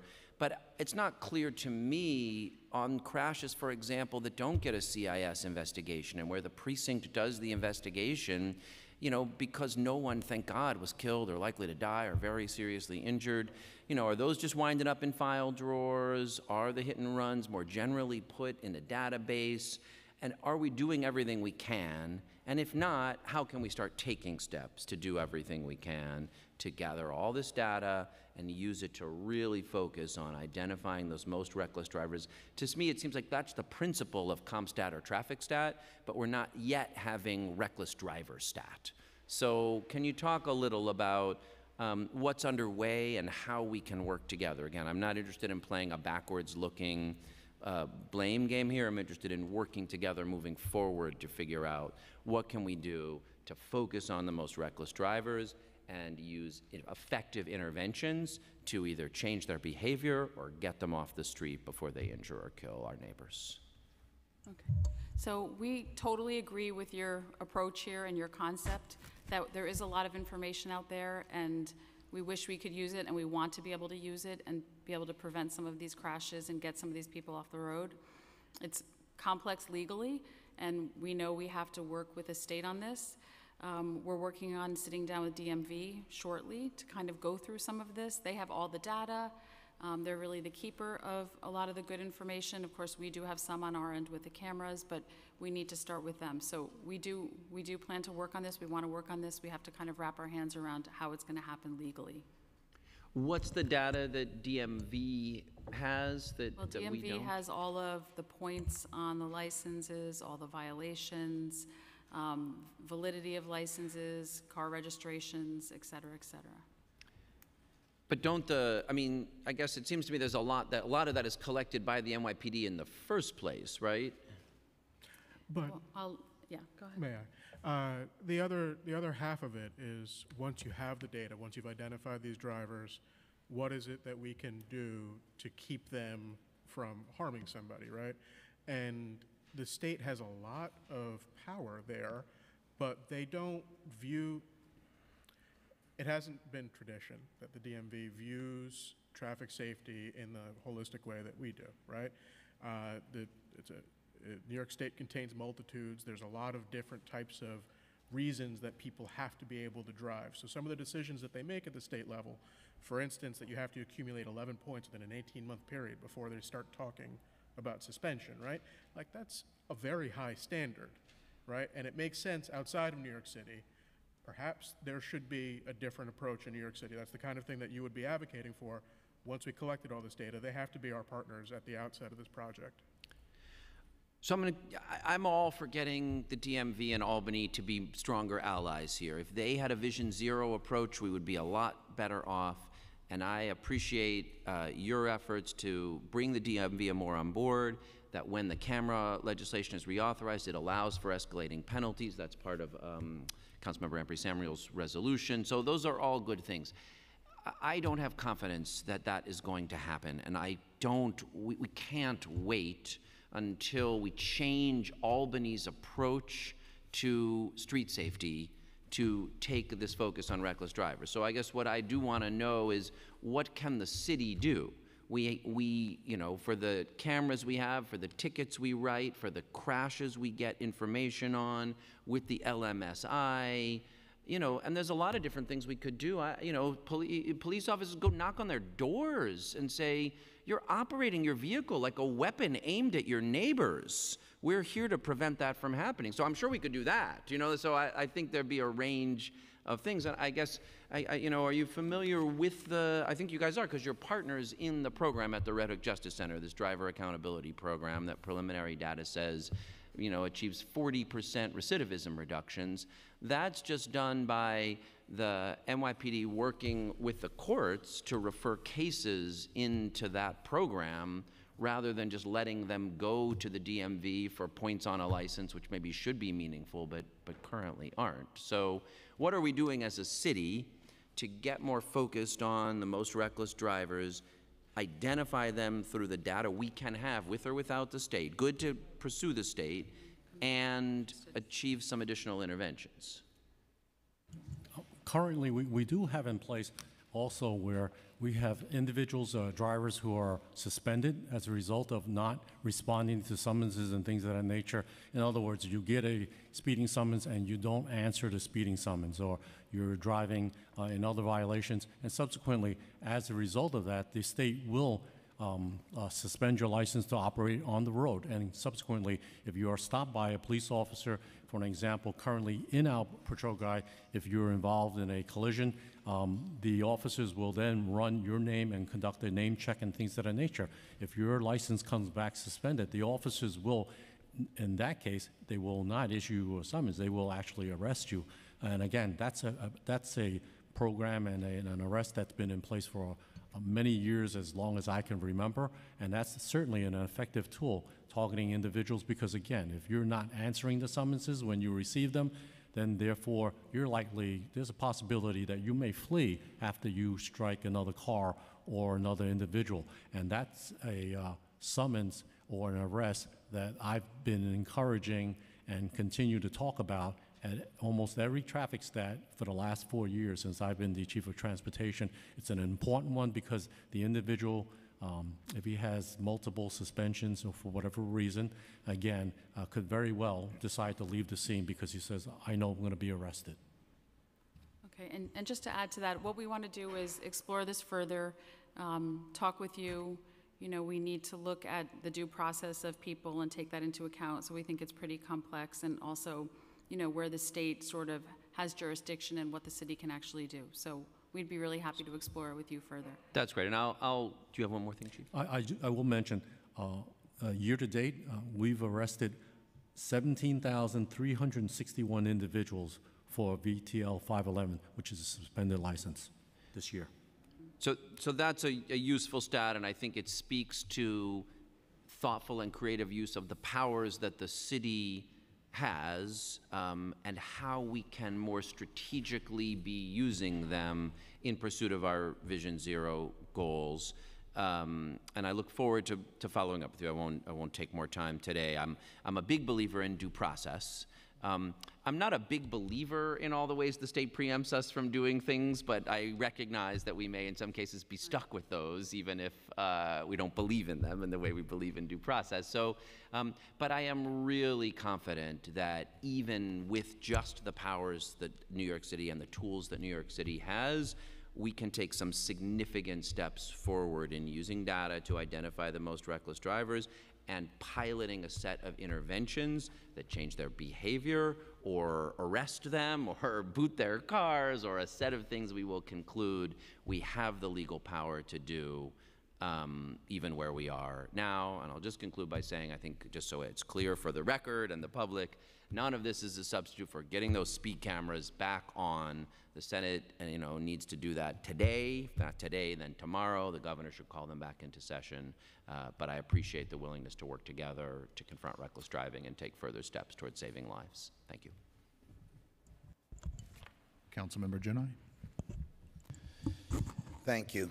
Um, Once again, Chief uh, Chan, I want to thank you for the incredible work that you're doing, as well as uh, each and every man and woman in blue. You did mention something that uh, concerns me. At the beginning of the school year, you anticipate putting additional agents out there uh, that would be issuing tickets.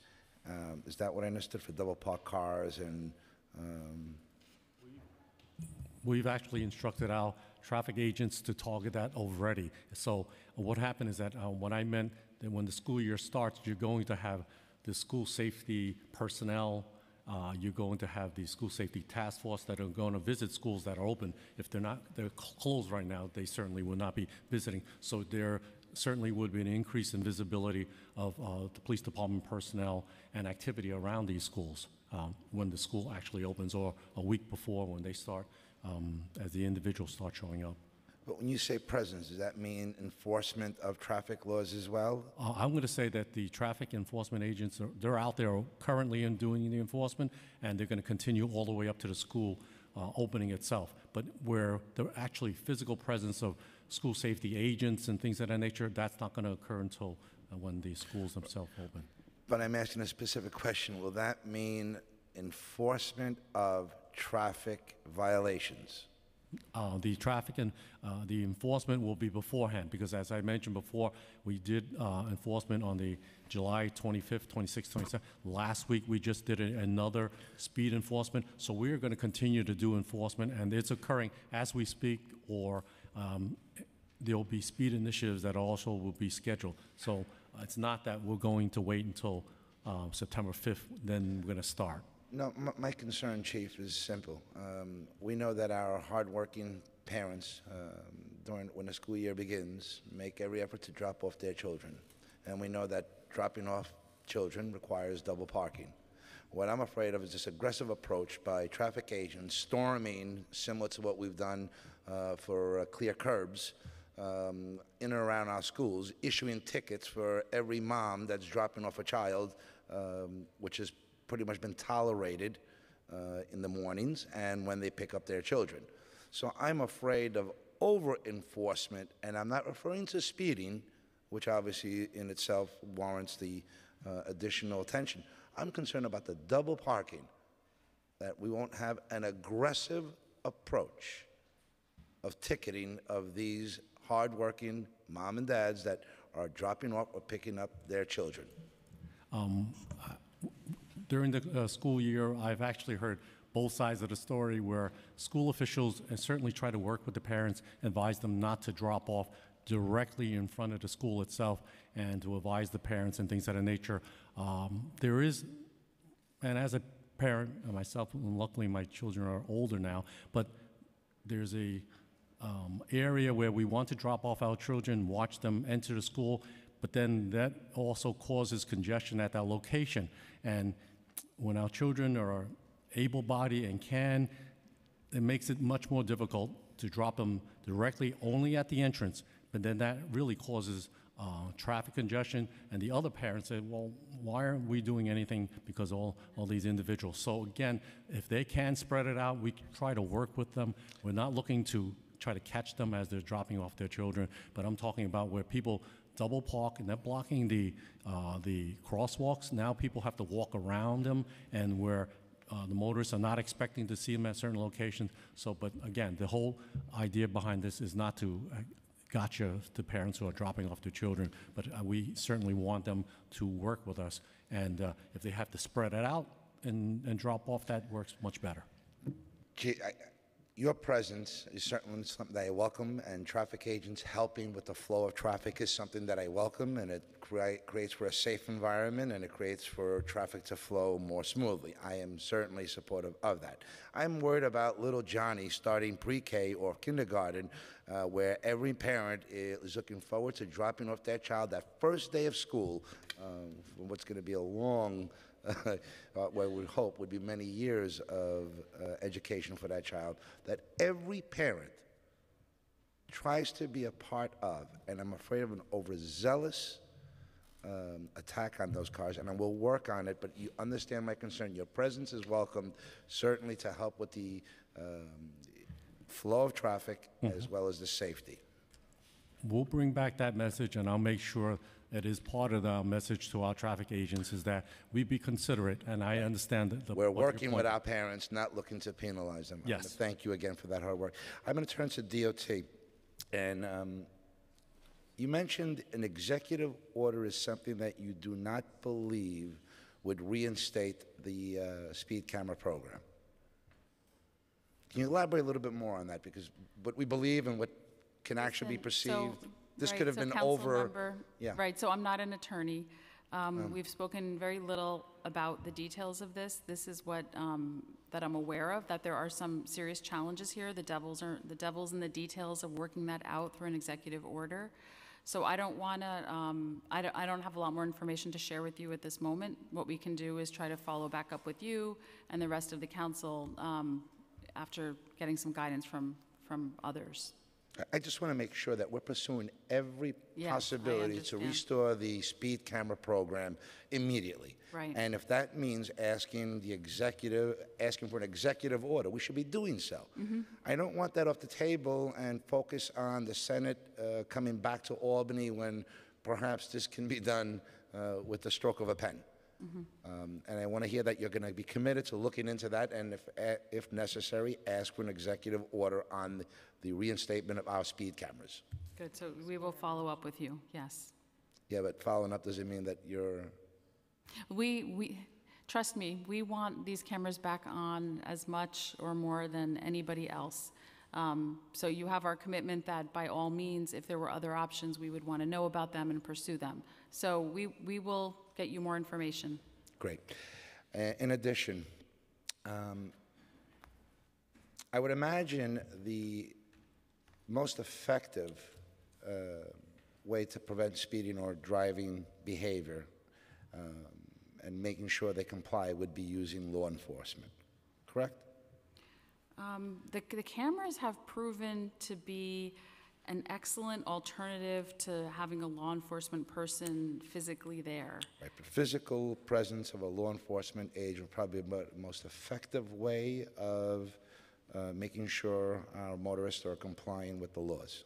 Well, in the case of speed by schools, I have to say, I think the cameras um, are outstanding in that they're quite scientific. It doesn't take manpower. They're generated almost automatically. They're required by, um, of course, we carefully look at each and every one and we analyze them. We have people that do that. Um, But it alleviate, alleviates a big burden on NYPD, so I would argue that it's an excellent alternative to having um, police An officers. alternative, but probably most effective would be having a, I don't know, I'd, let me- I'd I'd like Chief Chan to give you his thoughts on that, too. well, I think we just heard testimony that speed cameras are great, they issue a ticket, but there is no revocation of licenses, there's no points, there's no arrest. Those would be Tho- immediate. Those are advantages to having a person issue. Very good. So there would be an advantage to having, so that would be the first, of- first choice, and then obviously alternatives would be the speed camera. Right, but at the volume that we're issuing, you can't beat the speed camera program, right? Okay, And so if I here's my could- question. Okay. Uh, I'm sorry, if you don't mind, I'd I'd like No, to please. elaborate on that. Right, if you want to deter uh, somebody from breaking the law, there are really two ways to do it. One is you have uh, unpredictable and, and, you know, unfortunately inconsistent enforcement, but a really high penalty. Or you have a minor penalty, but consistent and predictable enforcement, right? And so with the speed camera, even though it's only a $50 ticket, even though there's no points, even though your insurance doesn't go up, but people have the perception that the enforcement is everywhere. We've seen a change in behavior that, you know, NYPD has done an incredible job during Vision Zero, nearly doubling the number of speeding tickets, tripling the number of failure to yield tickets, and so on. But the, the, the predictability and the consistency of the speed camera enforcement, mm-hmm. that's just why it's so important that the, the program resumes. So walk me through this. I drive by a school, or previous to the shutdown of the program, I drive by a school where there is a speed camera. What, at what time do I get, or how many days before, after the incident, do I get a notice in the mail? Within 15 days. 15 And, and usually far sooner than that. So that would mean I could conceivably be driving around for 15 more days before I receive a piece of mail that notified me that I am in violation of the speed law, speed limits and subject to a fine. What we expect, though, is that because it is so well known that speed cameras are in use in New York City, that people change their behavior before they get to the school all over. The, that, the, the. But your testimony just showed 130,000 violations were issued since the program was turned off that you've been following. It's a big city with a lot of drivers. Yeah, and they weren't So issued. that They weren't statement wouldn't be issued true, though, first. what you're just saying, that because they know the cameras are there, they'll generally slow down based on the evidence we have. Listen, I don't, I'm not exactly sure where you're going with it, but um, I think the point is that once people do get one, they do alter their behavior, okay? Or they avoid it, but yeah. Well, but then they don't know where all the rest are, and there are a lot of them out there. We do believe that people are really altering their That's my behavior. And the fact that they have to wait 15 days, you know, every, we all have a driver's license, we all passed the test at DMV, we're all s- responsible for our, you know, our driving, right? So they don't need That, to that's get where I'm this. actually headed with all this, because my understanding it's only covering 10% of the schools that are out there. Yeah. It's not That covering them means- all, yes. I'm sorry? Correct. That means 90% of the Johnnies and Lindas uh, in our lives are not being covered by speed cameras. And I'm reiterating the bill that I introduced, that a radar system would be an immediate indication to a driver, and the speaker articulated so wonderfully that when you may not be realizing you're speeding, that this display that would inform you of how fast you're going and what the speed zone is should be very effective in controlling speeders and reckless driving and protecting our children. And I'm just surprised at the approach of DOT, as well as the argument that's being made about the cost. And it just so happens that I reached out to those that provide these systems, and we see them all over the state, and predominantly Long Island and Westchester and throughout the country. So there's plenty of data that shows that these radar cameras do work. And I'm not saying this should take over speed cameras. But in the meantime, there's no reason why we shouldn't be installing them in or around every school to help deter any speeders. The data exists that shows they do work. And the cost that you have referred to, and I believe it says here $26,000 per fixed speed board. Mm-hmm. Well, I've contacted a few of these companies that do business with the city of New York and the rest of the state, and we've gotten pricing from $2,800 to $3,900. Mm-hmm. Your quoting is There are 10 times that mm-hmm. dollar amount. And that doesn't take into consideration bulk purchase discount or any other negotiations that we could possibly use because 1,200 schools, um, and if they only have two sides, that's 2,400 schools, and that's 2,400 speed radars on top of the other tools such as speed bumps, stop signs, red lights, uh, using of uh, traffic agents and speed cameras that would truly provide for a safe environment. So I question the validity of the number of the estimated price when I've got quotes here from Right, so reputable we- companies. Go ahead. Yeah, we, we understand there's a wide-ranging type of product for speed boards. There are some that simply attach to a light pole. Um, There's all different types. In the New York City environment, we would, we don't believe that those sort of lower-end models are going to cut it for us, okay? We have a lot happening in this environment. There's a lot of visual things going on. We would want one that is much more visible. It would be bigger. It wouldn't just be attached to a light pole, as most of these models are. And we do have some speed boards, and we do find them useful in certain locations, as we testified. So we are already experienced in the use of speed boards and what can kind of um, work best in the New York City environment from a durability and from a visibility perspective. So it'd be the up, we believe it'd be the upper end. I have one last question for you. Um, What's preventing us from installing cameras so we can get the data that's needed uh, as we move forward? So similar to what we're doing right now, we have cameras collecting information without actually doing anything with the information. So we do, for traffic-related purposes, we do um, take camera footage at times. If we're planning safety projects, often we'll mount a camera for three or four days on a corridor to see what's happening, to look at the double parking, to look at the behavior of people. So we do use cameras in order to collect information. So nothing prevent, Albany wouldn't prevent us from installing these Correct. cameras for Right. observation. Um, so why aren't we installing more cameras that can observe what is actually happening on our roadways and notice be sent without a violation to those vehicle driver, those Mm-hmm. drivers of these vehicles? And uh, that'll help give us a better indication of what is actually happening on all city streets, in particular in around these safety zones or these safe Mm-hmm. havens that we would hope uh, our school system uh, falls in. No, it's an excellent question. So the way we selected the location of the current cameras, we looked at crash analysis, we looked at speeds, we looked at the roadway design or geometry. We did all of that to pick the locations we, we know that we have the biggest problem at. And every year, you know, we reevaluate things at schools in order to see what has shifted and what has improved. So we feel we have a pretty good handle on it, but it's an interesting question that you raise.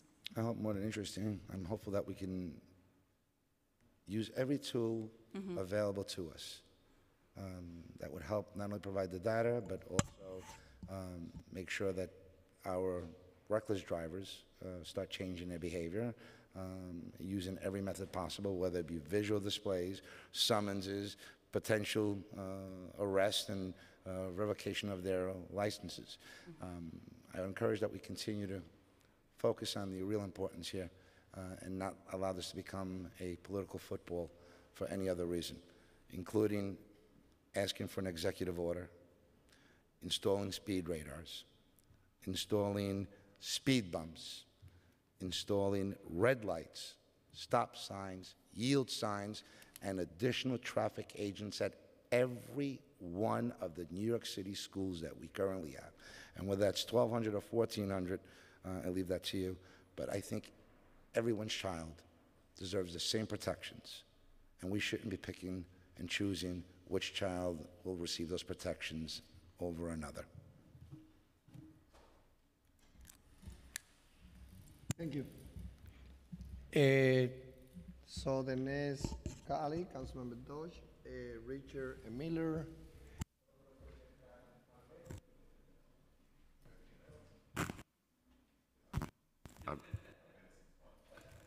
Thank you. I've been here since 1 o'clock.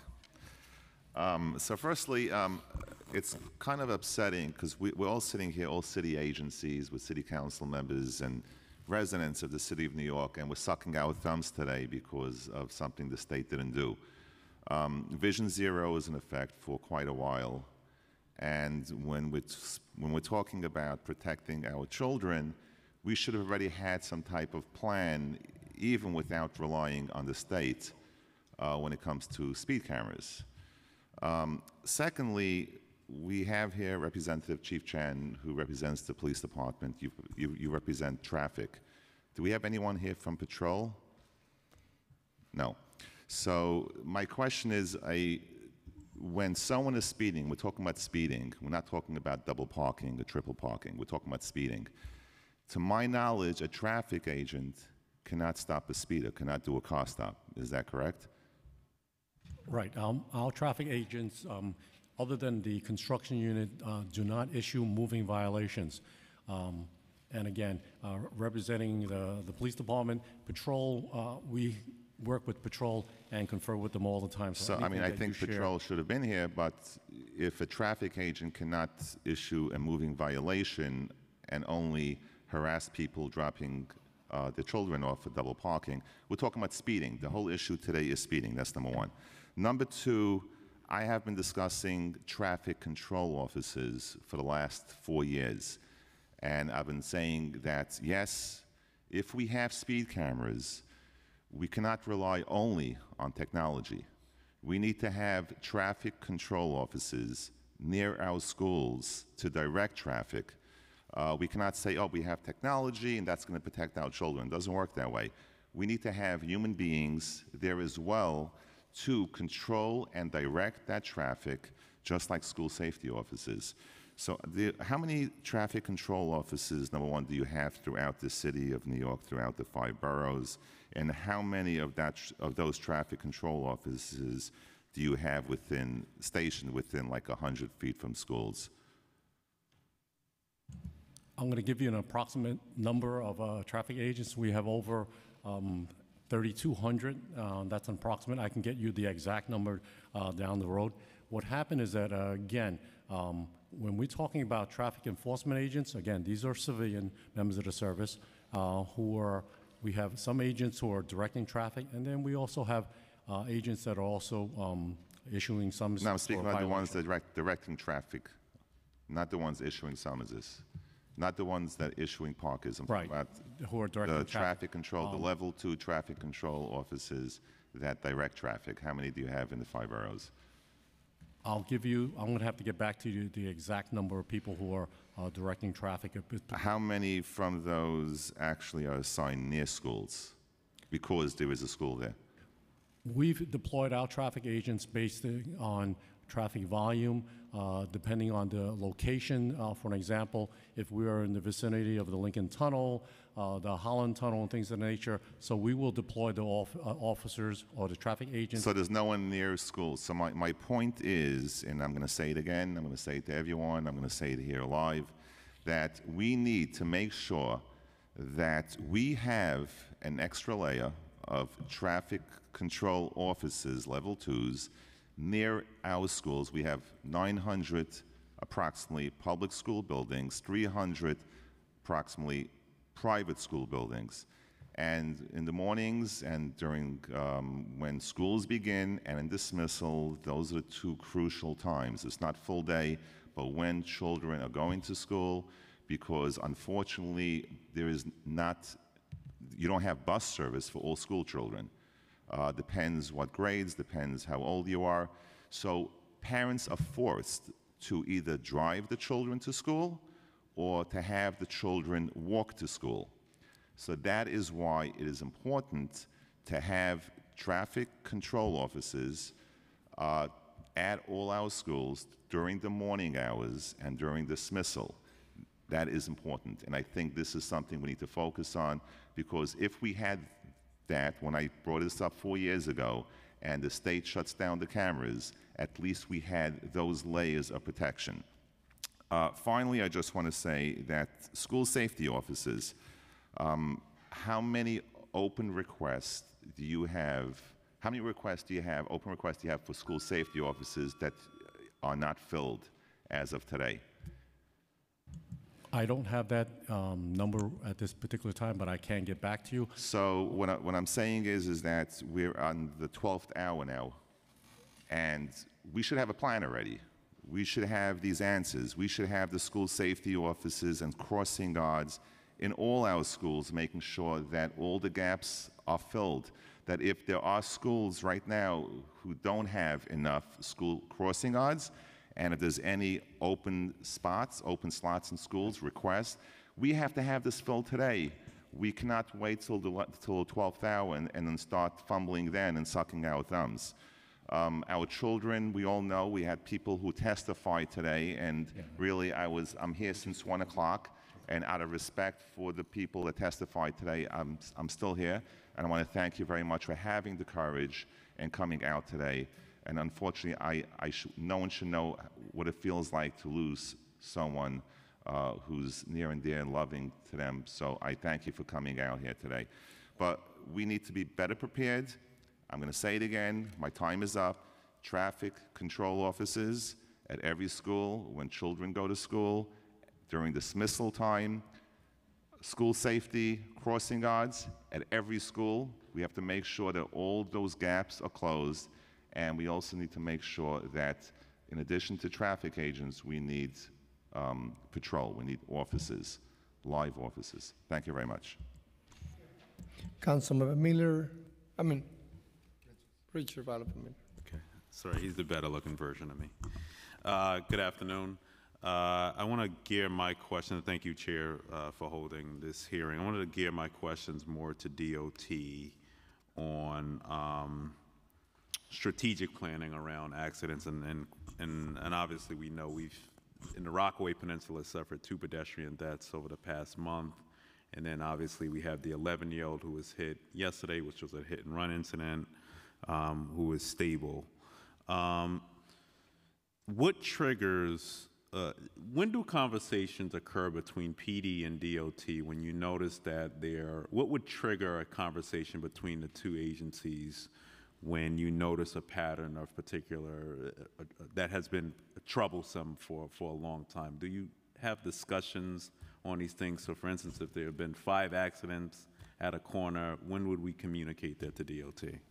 We are in direct contact with uh, DOT on a regular basis, and I can tell you, um, at every traffic stat, which is uh, scheduled on Thursdays, um, and there's one scheduled for tomorrow, and there was one scheduled last week, there were one, we meet, and there are DOT uh, representatives from that particular borough who are present at our meeting. So if there is anything of urgent nature that we spot, um, our statisticians and our people who look at the, the collisions and things of that nature information share this on a regular basis. It's on, they're only a phone call away.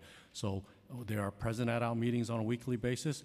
Um, again, we have another. I'm going to move from you, though, because I want to know what DOT does with that information. Right. Um, First of all, we Does have that automatically, besides- sorry to cut you off, does that automatically trigger a study for an intersection, or what Right. happens? So what we do is we, we run on um, different bases, like quarterly and yearly. We run fresh information on areas of concerns. We run our major corridors. You know, every year the Vision Zero corridors shift, right? Some of them um, we've addressed through our safety projects, and then others emerge as the next set of them. So we are, we are periodically updating our information. When we have something like what you're describing in the Rockaways, um, you know our borough commissioner, you know, between Mm-hmm. the rest of us watching the press office, everything, if we have sort of um, an uptick in an, in an incident, yes, we do reach out to PD. Um, We have three different period, you know, monthly meetings with PD, um, with different groups of, of DOT, and some with Chief Chan and some with his colleagues. We, we do a lot of safety education and outreach around locations like that, and then we do look at whether or not, usually, um, it, you know, we create a project, our design team, our planners, and our engineers will create a project for problem areas like what you're talking about. And then, Uh, okay. one last uh, aspect of this collaboration comes from uh, our work on the Vision Zero Task Force, not just NYPD, but Department of Health, uh, the City Fleet, the Taxi and Limousine Commission, other agencies, uh, meeting several times a month to go over the data, go over the trends that we're seeing. Uh, Things like uh, the, the police department's efforts on motorcycle enforcement came out of conversations with that task force. Uh, Things like the dusk and darkness, the special emphasis on enforcement during the winter months when, when light is, uh, is at a premium uh, late in the evening. Uh, Those successful initiatives came out of that really constant collaboration. That's the, the benefit of Vision Zero, is that we're talking at a, at a, at a, a depth and, and uh, that has never been before. Okay, so sounds good. Um, so Merrick Boulevard, and I'm going to get away from Rockaway for a second, was one of the most dangerous intersections to, which I was astounded at when we saw the actual pedestrian, um, uh, well, not only deaths we had there, but also accidents. And it seems like the only time these things are dealt with is when an elected official's office brings it to your attention. Um, and there was movement, and I want to thank uh, our Queensborough Commissioner for movement on it, but it's just a little bit astounding on how anytime we pick up the phone, a study then starts when obviously you are seeing patterns before we would see it. You're seeing the crash data. Uh, I think we had over 100 crashes on that particular stretch. I'll mention Rockaway Boulevard and Brookville Boulevard. Uh, Rockaway Turnpike, same thing, and it seems to be no immediate action until our office gets complaints or we complain to you. How many people are on staff to do these studies? How many people are assigned to do traffic studies uh, in DOT? So if you can break down by borough. Yeah, we don't, we don't have them allocated by borough. We have teams of planners and others who do it as part of their job, some who do it as all of their What's the job. ballpark figure? I have to, I will have to get back to you, but. I actually what- know the answer to it. I'm Well, asking this question. That's interesting, because Right. I'd be anxious to hear what your answer is. No, I, Um, I, I, it's the but- lawyer's rule. Ask the question Fine, I hear that what you know the get. answer to. Okay. Did we see an increase in the budget? Because clearly, and I know this from my office to Councilmember Miller's office, every council member's office is getting an uptick in requests for it's, and we are getting the three the 311 data now sent to us on a weekly basis. Mm-hmm. And we can clearly see, based on that data, that the number one request for my district, and I'm sure citywide, seems to be streetlights, the speed humps, Mm-hmm. stop signs. That is consistently across the board, but there seems to be every year when we have this budget discussion, no real uptick in the amount of engineers and people who do these studies being put into our neighborhoods. So I'm interested in seeing what the numbers are and if there's a real plan to Okay. increase the number since we're getting such a much higher volume, and especially because there's much more awareness around Vision Zero. Now, you know, people are calling for these things, but a study is taking more than a year to happen on average, right? And in the meantime, you know, once someone dies, all of a sudden, there's this movement to fix the issue. Okay. Why should we So- wait for deaths to occur when we know that, you know, a, a lot of times people are pointing out the intersections that are problematic? And, and I- you know, and, and this is what I've seen. I've been here 15 years consistently. If something bad happens, we will see a stop sign in two months when we've been calling for it for two years. So I'm Okay, just let me- saying that to put it on the record. I would hope we're going to be more proactive than reactive on a lot of this stuff. I applaud you for the work and pushing for the speed cameras, but that's one piece because speed cameras can't go on residential blocks, apparently. So I that's just my want to piece. mention, we received in this administration a lot of additional funding for personnel for Vision Zero, okay? So we have absolutely increased our staffing both to examine and study as well as to implement. And we have more, we have done more of all of our safety um, items than we ever have in the past. So just to tick a few off, we have in 2017, this is all about 2017, we installed over 800 leading pedestrian intervals, which is a signal safety um, benefit. We put in 92 miles of priority corridor safety projects, um, 114 of our total safety projects, 25 miles of protected bike lanes, 400 speed humps, which is more than we have ever done before. So, you know, you're concerned about staffing. I want to just highlight that um, our numbers aren't reflective of a lack of staffing or reduced staffing. And then about your question about, you know, what's happening in your district and does someone need to get hurt for something to happen? What I want to suggest is that we come in and sit down with you Okay. and look at your, your district and look at the Vision Zero corridors within that district and the nature of them, so you know what, exactly what's on our radar and what we're looking to do projects in.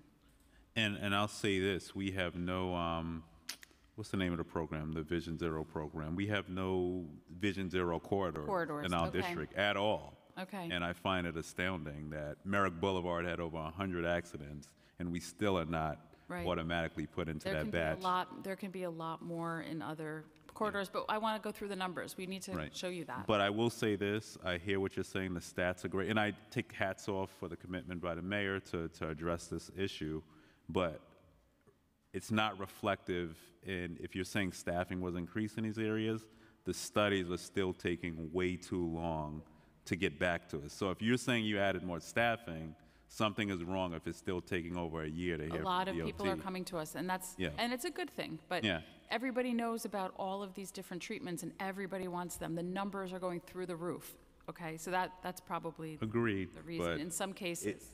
But I've been here 15 years, and it's, I'm not, my responses are no different than what, when I was a staff member compared to being a council member now. So I'm just putting that out there, not saying nothing is being done, but it's very clear that we need to ramp up more there. Thank you, Chair. Great. Thank you. Councilmember Miller. Thank you, Chair Rodriguez, uh, for this important hearing. I thank uh, the administration for being here. And um, Chief and uh, NYPD DOT, I applaud your efforts and your commitment uh, to retaining the speed cameras around school. And I understand that this, this what this hearing is about. But based on um, the speaker's commitment, mayor's commitment, I, I, I trust that all that all bases are being touched and all that we can do at a city level is being done. So um, what I would like to focus my short time on is the other things that we have done that Councilmember Richards just talked about um, around schools and other places to to mitigate um, traffic hazards for our young people and others in our community, so that we all all that inhabit and all the pedestrians feel safe in, in walking. Um, there is there is one of the things that I've tried to do over the past five years to ensure that all parks, major parks, and schools in the district uh, had safety provisions, either speed bumps, necessary stop signs, uh, daylighting, or whatever is necessary. Um, had this conversation with the commissioner, had this conversation with the Queens commissioner, and even with the best of intention, as my colleague said, um, we probably have 10% over the past five years. Uh, accidents continue to occur. Um, and as we have these engagements about what we can do, and, and we know that speed bumps, everybody wants a speed bump until you get a speed bump and you want it going if it's in front of your home or uh, but the fact of the matter is, is that they are very, very hard to come by.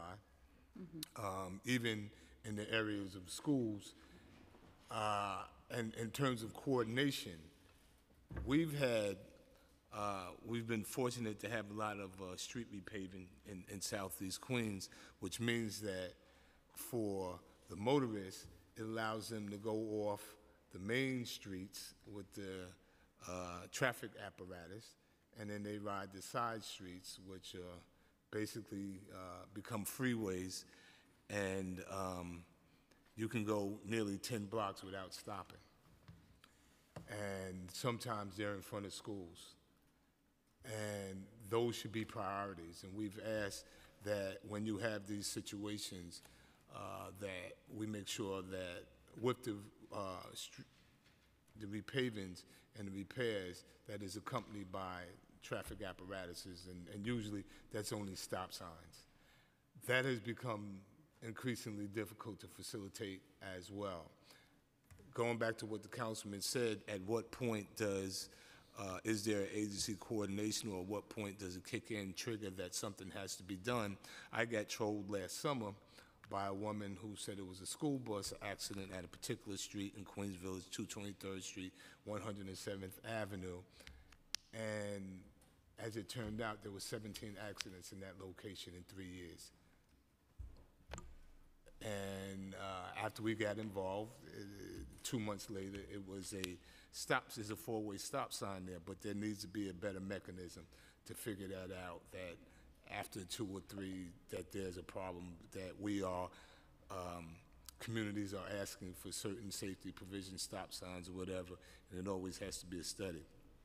But I really want to focus on the areas around the school. What can we do to mitigate that in lieu of uh, the speed cameras? Can we, stop signs, provision, I know we have one principal who wants the, the kind of illuminated stop sign on the corner.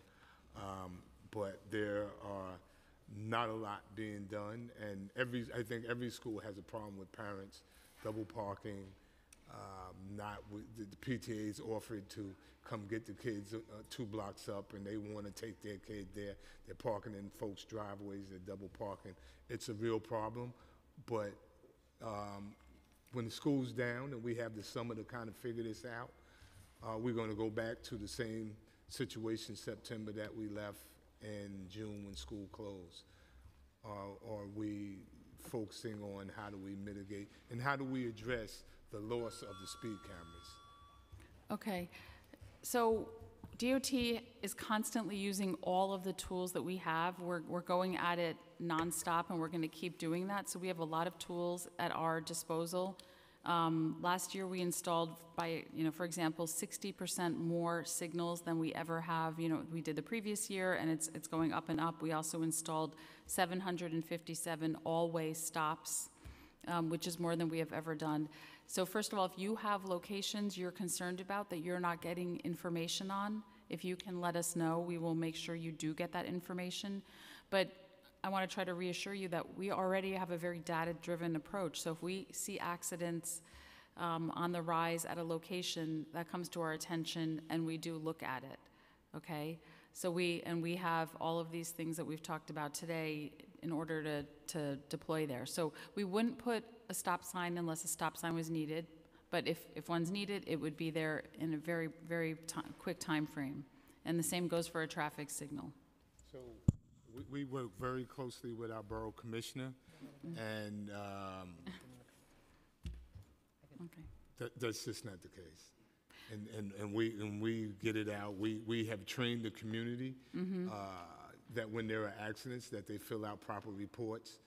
And that's been a problem as well, that we've known that there's been five or six or seven accidents, and we call the precinct, and there were two accident reports filed, things like that. But Right. specifically, I want to focus on how do we mitigate traffic incidents around the school area? Uh, Some schools don't have speed bumps or traffic um, stop signs within uh, two blocks leading up to the school. And that's what I'm saying, like, even if they're right in front of the school building, but leading up to it, like, uh, traffic, uh, the, the speed cameras covers what, a quarter of a mile? A quarter of a mile on the street before and after the school. Right, so we, we want to get close in, in, in the signage and whatever mechanisms that you have. So even if you have a stop sign two or three blocks ahead, so that they don't have that full head of steam or that they have a, a speed bump around there, making sure that we have apparatuses to support the loss of the speed cameras or in lieu of the speed cameras, even while they. And one other thing we want to mention is that a speed camera and a stop sign perform two totally different functions. So a speed camera gets at the speed of a vehicle in between intersections, okay? Whereas a stop sign, obviously, or a traffic signal is controlling the corner, and it's controlling who gets to go at the corner. So it's very, very different. So a speed, a s- you know, the things you're mentioning don't But they're not mutually suffice for exclusive. They're, taking, they're, they're not mutually exclusive. If you have to stop on this corner, that will and help then the next corner, then you're, you're not if you. you're not doing 30 miles an hour from block to block, and you just pick it up in speed. So they're not mutually exclusive. Mm-hmm, mm-hmm, that mm-hmm. would help to mitigate speeding if you had to, look, if you can go 10, and when I say 10 blocks, I literally mean 10 blocks in residential communities without stopping on perfectly paved roads is dangerous. And so we need to take a look at that. But when those blocks include schools, we have to be able to expedite uh, that happening, and, and that's where I'm, I'm, I'm getting at. I think we're all on the same page, but there is, those are the simple solutions. And I, and I, I know the study for, for, for, for the, the, the uh, cameras and, and the, um, the lights and so forth. Sp- uh, I think stop signs are relatively simple, but at very least, schools, parks should have them. Where they're needed, yes, we agree, and we would, we would get them up. We, we have to comply with engineering standards. We won't just put them at every location. But I give you my word, if you have locations that you feel we're not responding to quickly enough, if you get them to me, we will make sure we do. I'm, I'm, I'm going to give you my three-year. Yeah. And, and, and I'm, I'm not one that, I, if we do a hearing, I'm not going to talk about some new stuff unless we finish last year. I'm going to send you um, what we have requested over the Okay. past three years and see what has been checked off. Thank you. Okay? Thank you. Councilmember, I have a, a running like conversation with Candace in your office. She can send it to me. If that's helpful. Thank you. Thank you. So with that, I would like to summarize. First, that it is in the interest of the whole city of New York, and in this case, the council and the administration, to see the state senate going back to Albany and authorize the city to main, to res- restore the speed camera. Is that something that we can say that we agree? Yes. Yes. Completely. And, and we are also know that there's some, that's the idea, that's what we're fighting for, that's what we will continue mobilizing everyone together with TA, Trans, Family for Safe Street, everyone who care for the safety of our students and New Yorkers. We want the Senate to go back and authorize the city to maintain, to restore the speed camera. We also, as you heard, uh, we want to not to be limited, and of course, we don't want to compromise as if we don't get the Senate to go and act, then we should do something else. Our interest is to get the authorization that we need as a city. But if by any chance they don't go back or they try to continue pushing back, from our end, from my end, I can say, from the chairman of this committee, I hope that the administration will continue also advocating, you know, for all the way on how we can get the authorization, authorization to happen. And as I said, that can be, you heard that the governor should use his power to convene the state senate back there. I also feel that we should also encourage the governor to use his power for a executive order, knowing that, as you heard, probably you are not too sure from the city hall perspective. This is something that we- you feel that eh, the governor can do it. Based on what I heard from some people who are the experts in the law area, they feel that that's also doable. But the summary that we all, we all want to maintain our speed camera. And you heard from my colleague also uh, other uh, suggestions, you know, the, the crossing guard, you know, that's something that we hope that by any chance we don't have the speed camera by September 5th, that also we have alternative plan on reducing vehicles, continue increasing the ticketing to those drivers who are uh, driving over the speed limit. So I, with that, I would like to thank the administration. We've been partners with the Vision Zero in this initiative, and I know that we have a common interest, which is to maintain safety for our, all, the whole 8.5 million residents, but especially in this particular case, to those students and the parents who walk every day around to their school. With that, I'd like to thank you, and now I'm going to be calling the name for the last panels.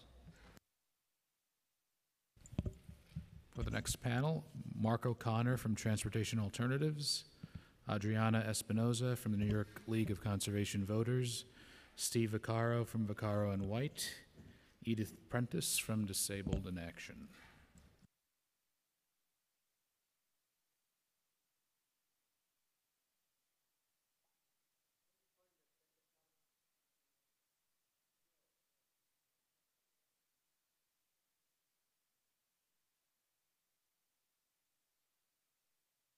And for the last panel, which will be uh, coming up after this panel, if you're here, it will be Oleg Chernovsky, Executive Director.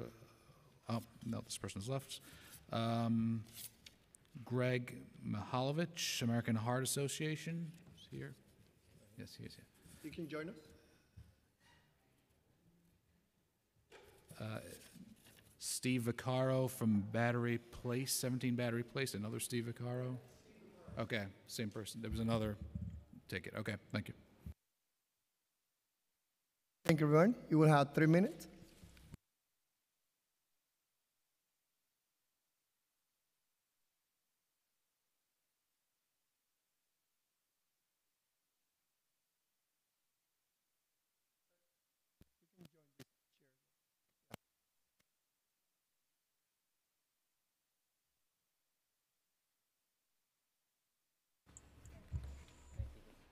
Good afternoon. Um, my name is Adriana Espinoza. I'm the director of the New York City program at the New York League of Conservation Voters. Um, NYLCV represents over 30,000 members in New York City, and we're committed to advancing a sustainability agenda that will make our people, our neighborhoods, and our economy healthier and more resilient. I'd like to there thank Chair Rodriguez for the opportunity to testify here in support of Intro 322 of 2018. One of NYLCV's top priorities is ensuring that New Yorkers have access to sustainable, low carbon modes of transportation. We believe that pedestrian safety and smart street design are crucial to achieving this goal. And with the safe and well designed streets, New Yorkers can more easily pursue sustainable modes of transportation and reduce dependency on high emissions vehicles. That is why we strongly support Intro uh, 322 to deploy more Vision Zero street design standards on arterial streets. This proposal will advance New York City street safety initiatives.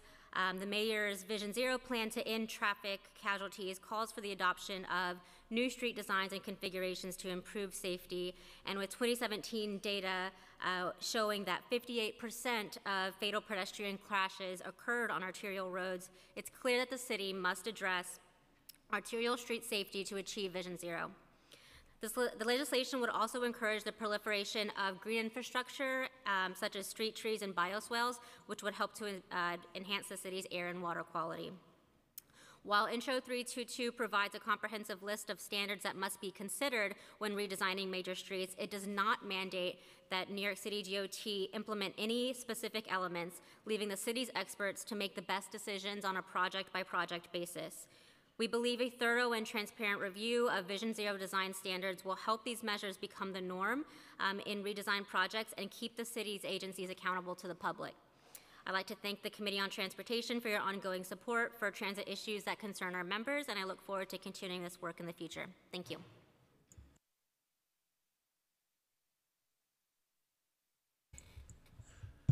Uh, good afternoon. My name is Greg Mihailovich. I'm the New York City Director of Grassroots Advocacy with the American Heart Association.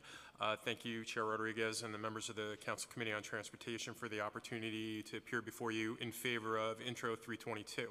So the American Heart Association is the nation's old, oldest and largest voluntary health organization dedicated to fighting heart disease and stroke, 80% uh, of diagnoses of which are preventable.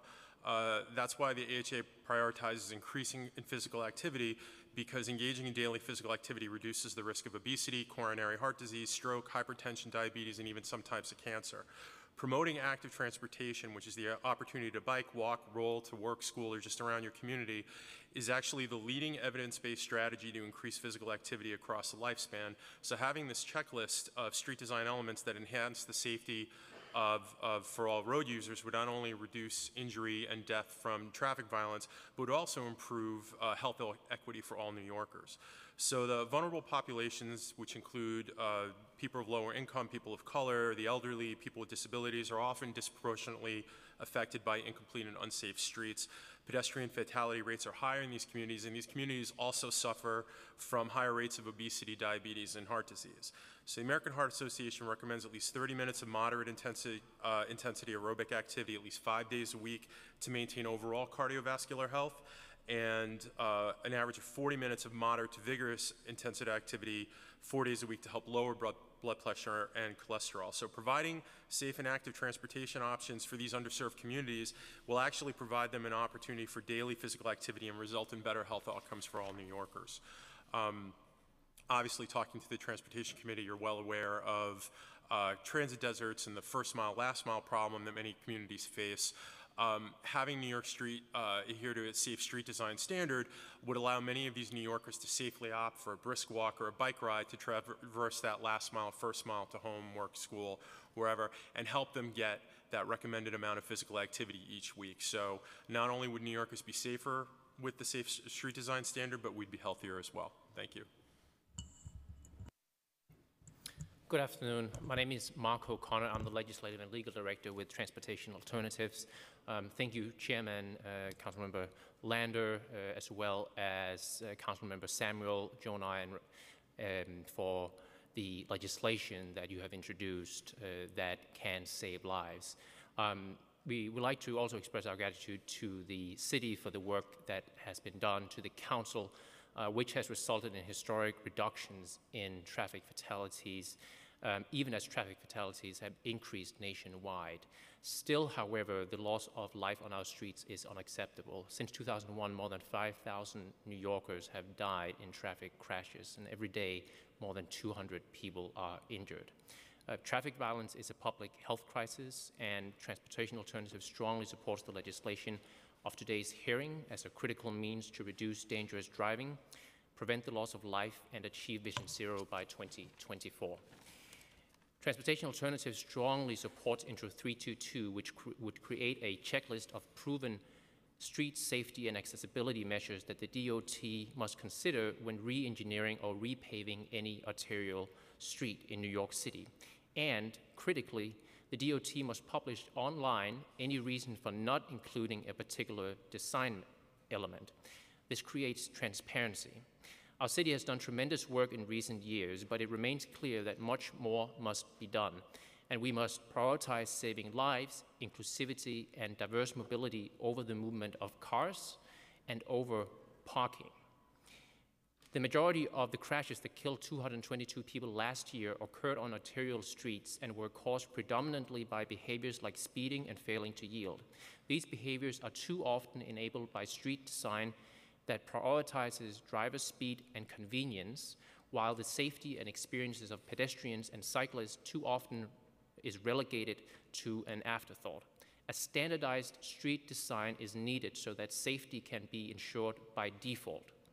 Once built, these streets are not subject to the shifting winds of politics, and Mayor de Blasio, I believe, should have an interest in preserving his own legacy when it comes to Vision Zero. The Complete Streets checklist will be an important step towards creating transparency and for the public to know when, for example, a proven safety element is sacrificed in order to preserve one or more parking spots, which happens repeatedly throughout the city. Furthermore, in order to be truly equitable and effective, street design and safety measures must be consistent across neighborhoods so that no part of the city is left behind. By employing the safety elements of this checklist, our city can cement a lasting legacy of safety into our streets. That legacy will encourage more people to walk and ride bikes, make bus service more efficient, and enhance the mobility of the elderly and disabled. I quickly also just want to state our strong support for Intro 971, 972, and 1066 to impound the vehicle of repeat dangerous drivers. Uh, a dangerous driving study, and speed boards. Finally, we strongly support Intro 268 by Councilmember Samuel, which will call upon the state legislature to pass speed cam legislation and for escalating fines for repeated violations and physician reporting. A resolution from this council will help solidify the strong support, the support from throughout the city that shows a united city on this issue of speed safety cameras and um, it will send a message that renewing and expanding the speed camera program is in the interest of all New Yorkers. Thank you. Good afternoon. Um, I'm Steve Vaccaro. I am from the law office of Vaccaro and White, which has represented hundreds of crash victims here in New York City, including the families of Sammy Cohen Eckstein, Ali Liao, uh, who you've heard from already today, as well as Bernadette Karna. Um, I'm also a founder with fellow Safe Streets activists of Streets PAC, the organization that supports elected officials who are working to keep our streets safe and make them safer. Thank you, Chairman Rodriguez and Councilmember Lander, for your presence here. Uh, I'm going to abbreviate my comments. I passed out uh, my, my comments as written uh, with some attachments, and I just want to draw your uh, attention to them because they address some of the previous testimony that you've heard today, and I'll go through them quickly. Um, my, my major point is that we need to move from a, a um, criminal justice and law enforcement paradigm um, that we've been using for the most part and we rely exclusively on for street safety over to a public health paradigm. And that's what Intro 971 and 972 would do. Okay? Instead of becoming ensnared in all of the issues that arise with treating um, uh, misconduct in traffic as a crime or as a traffic violation, we should be able to look at the data and see that this is a behavioral problem and, and take the tools that we know that we have that can improve it and use educational rather than educational means rather than penalties to resolve them. So this legislation would identify what cars are being used in a dangerous way. We have these camera systems, the LMSI, the speed cameras, the red light cameras. We have NYPD officers who go to the scene of a crash when summoned to fill out reports showing that a crash occurred and who was involved. And we can take this data and we can identify the, the, the vehicles that are involved. If you are working through a criminal justice paradigm, you have to have a perpetrator, and that's the problem. That's the reason why speed cameras don't involve points on the license because there's this issue of, oh, who was driving the car? We don't know. May have been the owner, may not have been, so we can't apply a penalty to anyone's license. It's the same veil of anonymity that protects the owner of the vehicle, most likely the driver of the vehicle that struck Bernadette okay? Because the NYPD doesn't know who was driving, they just drop the investigation because if you don't know who the perpetrator is, what's the point of investigating anything more? Even if there's video that shows the collision, shows the license plate. I've attached the FOIL documents in Bernadette's case to my testimony. They show the vehicle, the license plate, and the back and forth between the NYPD Legal Bureau and the detective investigating her case. And they leave no doubt that it is the official policy of NYPD to drop investigations when they can't positively identify the driver of the vehicle, even when the vehicle is positively identified by license plate. The other attachment is a memorandum that was prepared by our law firm that explains why the city has the authority and the jurisdiction to enact this program, which is a program for education, intervention, and remediation, not criminal penalties. And once you get away from criminal penalties, you can do a lot more. And I believe we've, we've shown at the Red Hook Community Justice Center, we've shown with booting vehicles, it will be more of a deterrent with these hardcore, reckless drivers than the $50 penalties, which remarkably thousands, tens of thousands of drivers are willing to pay over and over and over again as the, as, as the cost of driving fast and putting the rest of us in danger. So this, this program is a different approach. I think it'll be a more effective approach, and it'll address the concerns of critics who say this is just a revenue grab when you have these speed cameras. Don't make it about revenue, make it about changing behavior. It will also address concerns that there will be disproportionate imposition of law enforcement on people of color. The, you know, through, through you know, the, the the profiling that takes place with in-person policing. You know, you can address all of these concerns. This isn't punishment. This is remediation. This is education. This is not law enforcement, and that's the way you should be taking your continued Vision Zero efforts.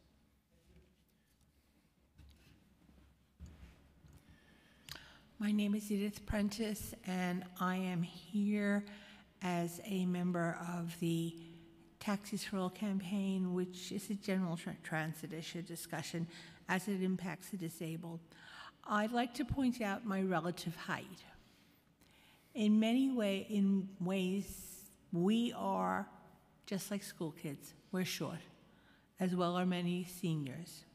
It's very important that one of the issues of concern is crosswalks and great big cars parked at crosswalks, which obstruct the vision of the driver of us as we cross the street, similar to babies being pushed in carriages, where you literally have to peek out around the car to see if it's safe to proceed. We have many, many traffic issues that we need DOT to focus on. These 10 issues are very important, but there are issues, for example, the you know, um, Vinnie Gentile, when he was a council member, pushed a bill that allowed parking in crosswalks on T intersections. Well, that means you can't get onto the sidewalk where you're going to walk to be healthy. You can't get off bus stops when the bus stops are on those side, same sidewalks. Uh, when we had a this this speed the speed camera session in Brooklyn last week for moped, I got off a bus and I couldn't cross this incredible street until the police officer jaywalked me. Um, we all know that cross streets require traffic signals. But there are lots of places people cross because there aren't other options that need to be looked at. We need to look at the safety, the everyday safety, and these items are very important. I just am concerned that they will become a situation where DOT has no overview from the world of New York City, from the citizens of New York City, as to what our issues and needs are. There needs to be a dialogue, not a monologue. Thank you. So with that, we came to the end, right? Eh, the most important thing is to continue working to restore the speed camera. I'd like to thank everyone, Speaker Johnson, for his support, Councilmember Lander, who also was very instrumental to get this emergency hearing. And I feel that, you know, eh, with the pressure that we will continue uh, building in these next couple of days, hopefully we can be able to restore the speed camera. Eh, before I pass it to Councilmember Lander, if he has also a few words, I would like also to invite all New Yorkers to be part of our second train station tour, which we're going to be doing in September, and getting in contact with other riders and see how much progress we've been making in our city. Uh, we did last year. We did our first train station tour, and this time around, we're hoping to do our second one in the month of September. So later on, we're going to be sharing more information. So with that, Councilmember Land. Uh, Mr. Chair, I look forward to riding the rails with you again in September, as, as we did last year. That brought a lot of attention to the subway crisis, and sadly, we have not made enough progress. So, um, uh, thank you guys all for being here and all for your advocacy and sticking through this whole uh, conversation. I, I really appreciate it. Um, I want to ask Steve a question or two following up on uh, Ms. Karna's testimony and also our speaker's uh, reaction to it. And I know that you um, drilled down a little more in your testimony. So I wonder if you could just say, for starters, a little more about this hit and run situation more broadly um, and the back and forth that took place between the speaker and Chief Chan about what we are and aren't doing in hit and run investigations. Okay, I'll say in the first instance that Chief Chan alluded to the Collision Investigation Squad. That's the specialized NYPD unit that investigates the most serious collisions. Usually the fatal collisions are ones in which there is, is a likelihood of a fatality.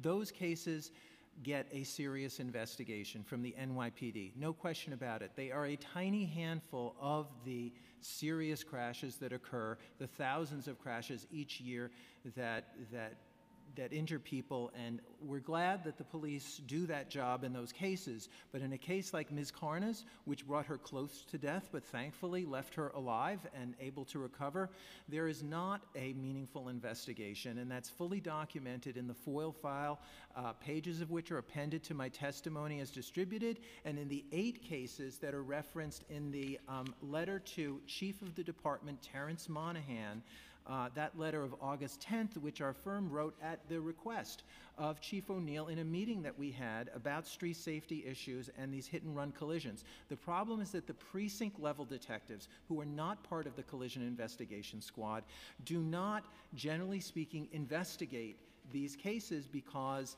unless someone can identify the perpetrator, there is no hit and run charge that can be pursued and brought to a conclusion in a prosecution. So the ID of the car, the license plate, is just put in the file, it's buried, it is not shared with any other agency, and nothing is done with it. And this is, is really uh, a waste of valuable information. And, and on dozens of clients that our firm has represented over the years, we have found precinct level detectives unwilling to investigate these cases. And we put just a few as examples in our, in our letter as the attachment to Chief Monahan. This should be one of the streams of data that is going in through 972 to inform the intervention and remediation program under 971. So police accident reports, so-called, every time there's a collision, there were two priors for the vehicle that struck Burnett, Bernadette Carna. Um, you know, the police collect that data. So the idea we have to get it from Albany that's a dodge that you heard from some of the executive branch officials here today. If the police are collecting in the first instance, they can share it with their colleagues in city government and not tell you to go to Albany to get it. Same thing with the ID of the license plates of the hit and runs. They have it. Same thing with the LMSI. How many of those millions of license plate images captured each year are going to be vehicles registered to a driver with a suspended license? I think more than a few. And I think that someone should be looking to see, hey, this vehicle's coming into New York every day, in and out, and it's registered to someone with a suspended license, and then they're involved in a crash, and then there's tickets that they get on a speed camera or red light camera. Someone should put this data together. Th- That's very helpful. And just, I was struck by this in your testimony, that there were, and I know this is something that the chair has really worked on, on hit and runs. There were 46,000 hit and runs in 2017. That's in the letter that you, you know, and that, that, that, That, that includes property damage only cases. yes, but still, you know, that's, I mean, if we, you know, and, and right now, if, if, if it triggers a CIS investigation, that might lead to identification of the driver and specific punishment. But if not, then, then even if we have the license plate, essentially nothing happens. It, go, it doesn't go into a database, it just, just sits in a file. That's exactly right. It's never used for anything except potentially civil litigation of the sort I do. So on, in Dorothy Bruns's case, they had, she had been in a, a hit and run previously. They, they disciplined the officer who had put it in a file, but it sounds to me like that's actually the policy, is just like that nothing more would have happened to her on, in any case. That's exactly right. That's exactly the policy as articulated in follow-up number 10 from the investigation that was conducted in Bernadette Carna's case. It's attached to my testimony, and there, a legal, NYPD Legal Bureau attorney named Elizabeth Moley uh, gave the advice that there was nothing to pursue in this investigation because if the driver denied involvement in the collision, even if he said he was the only one with access to his vehicle at the time of the collision, well, there's nothing that can be done, even though that vehicle was identified by license plate. It, no, no one, if you ask them on the street, would say, if you do a hit and run and someone gets your license plate, there's no consequences. But that's what the rule is. In black and white, NYPD Legal Bureau. Um, and then I asked this question of, of Bernadette, you know, where you found through FOIL that there were two prior crashes that that driver had been involved in. Do you know where the data came from to identify those two prior crashes? Yes, when there's a motor vehicle crash, usually someone calls the police, calls 911. The police come, there's a police accident report, it's called, filled out to document what happened, and that's where that data came from.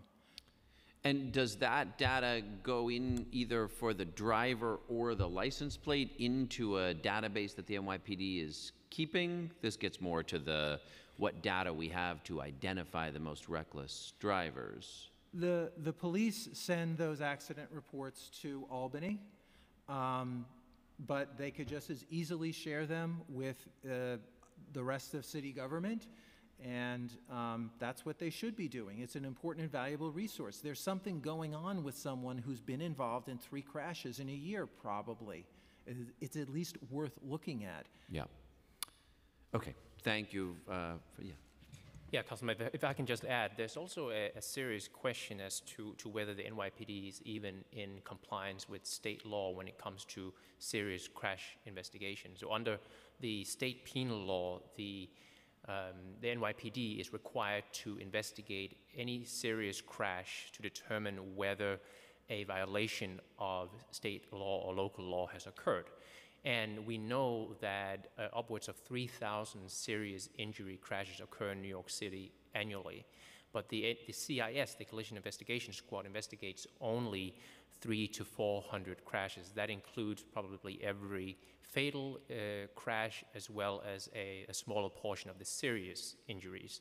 Um, but uh, we know also that the NYPD actually has as a policy to not pursue, for example, right-of-way criminal um, violation investigations without the CIS investigating a crash.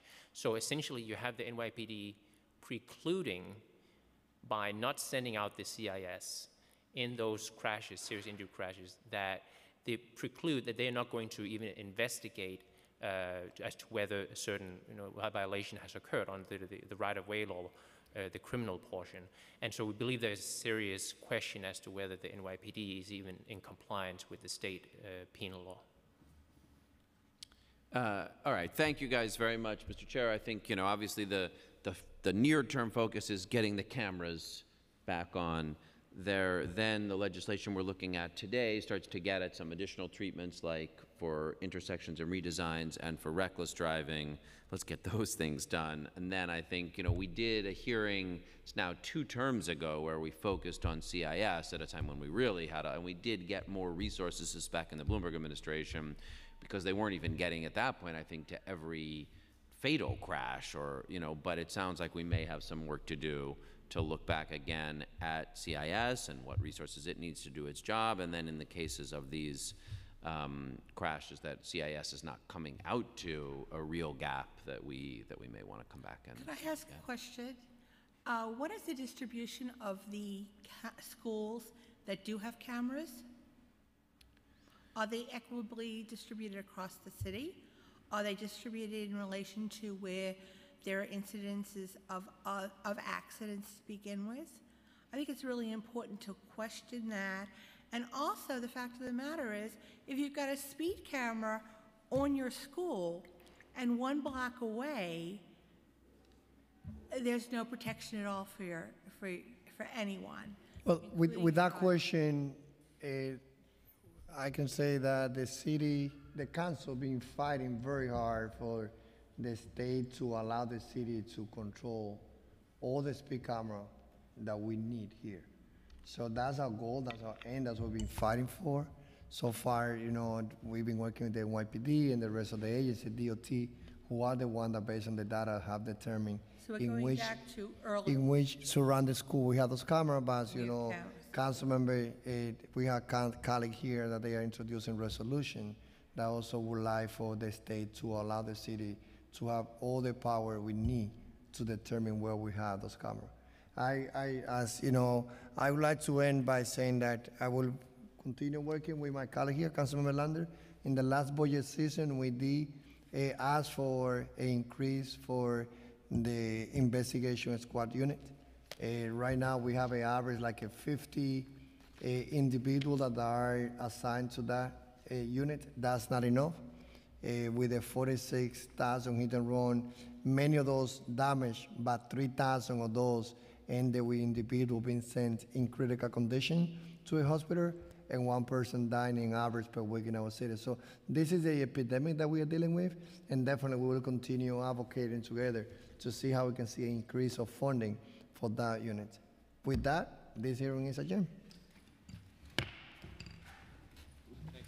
Thanks.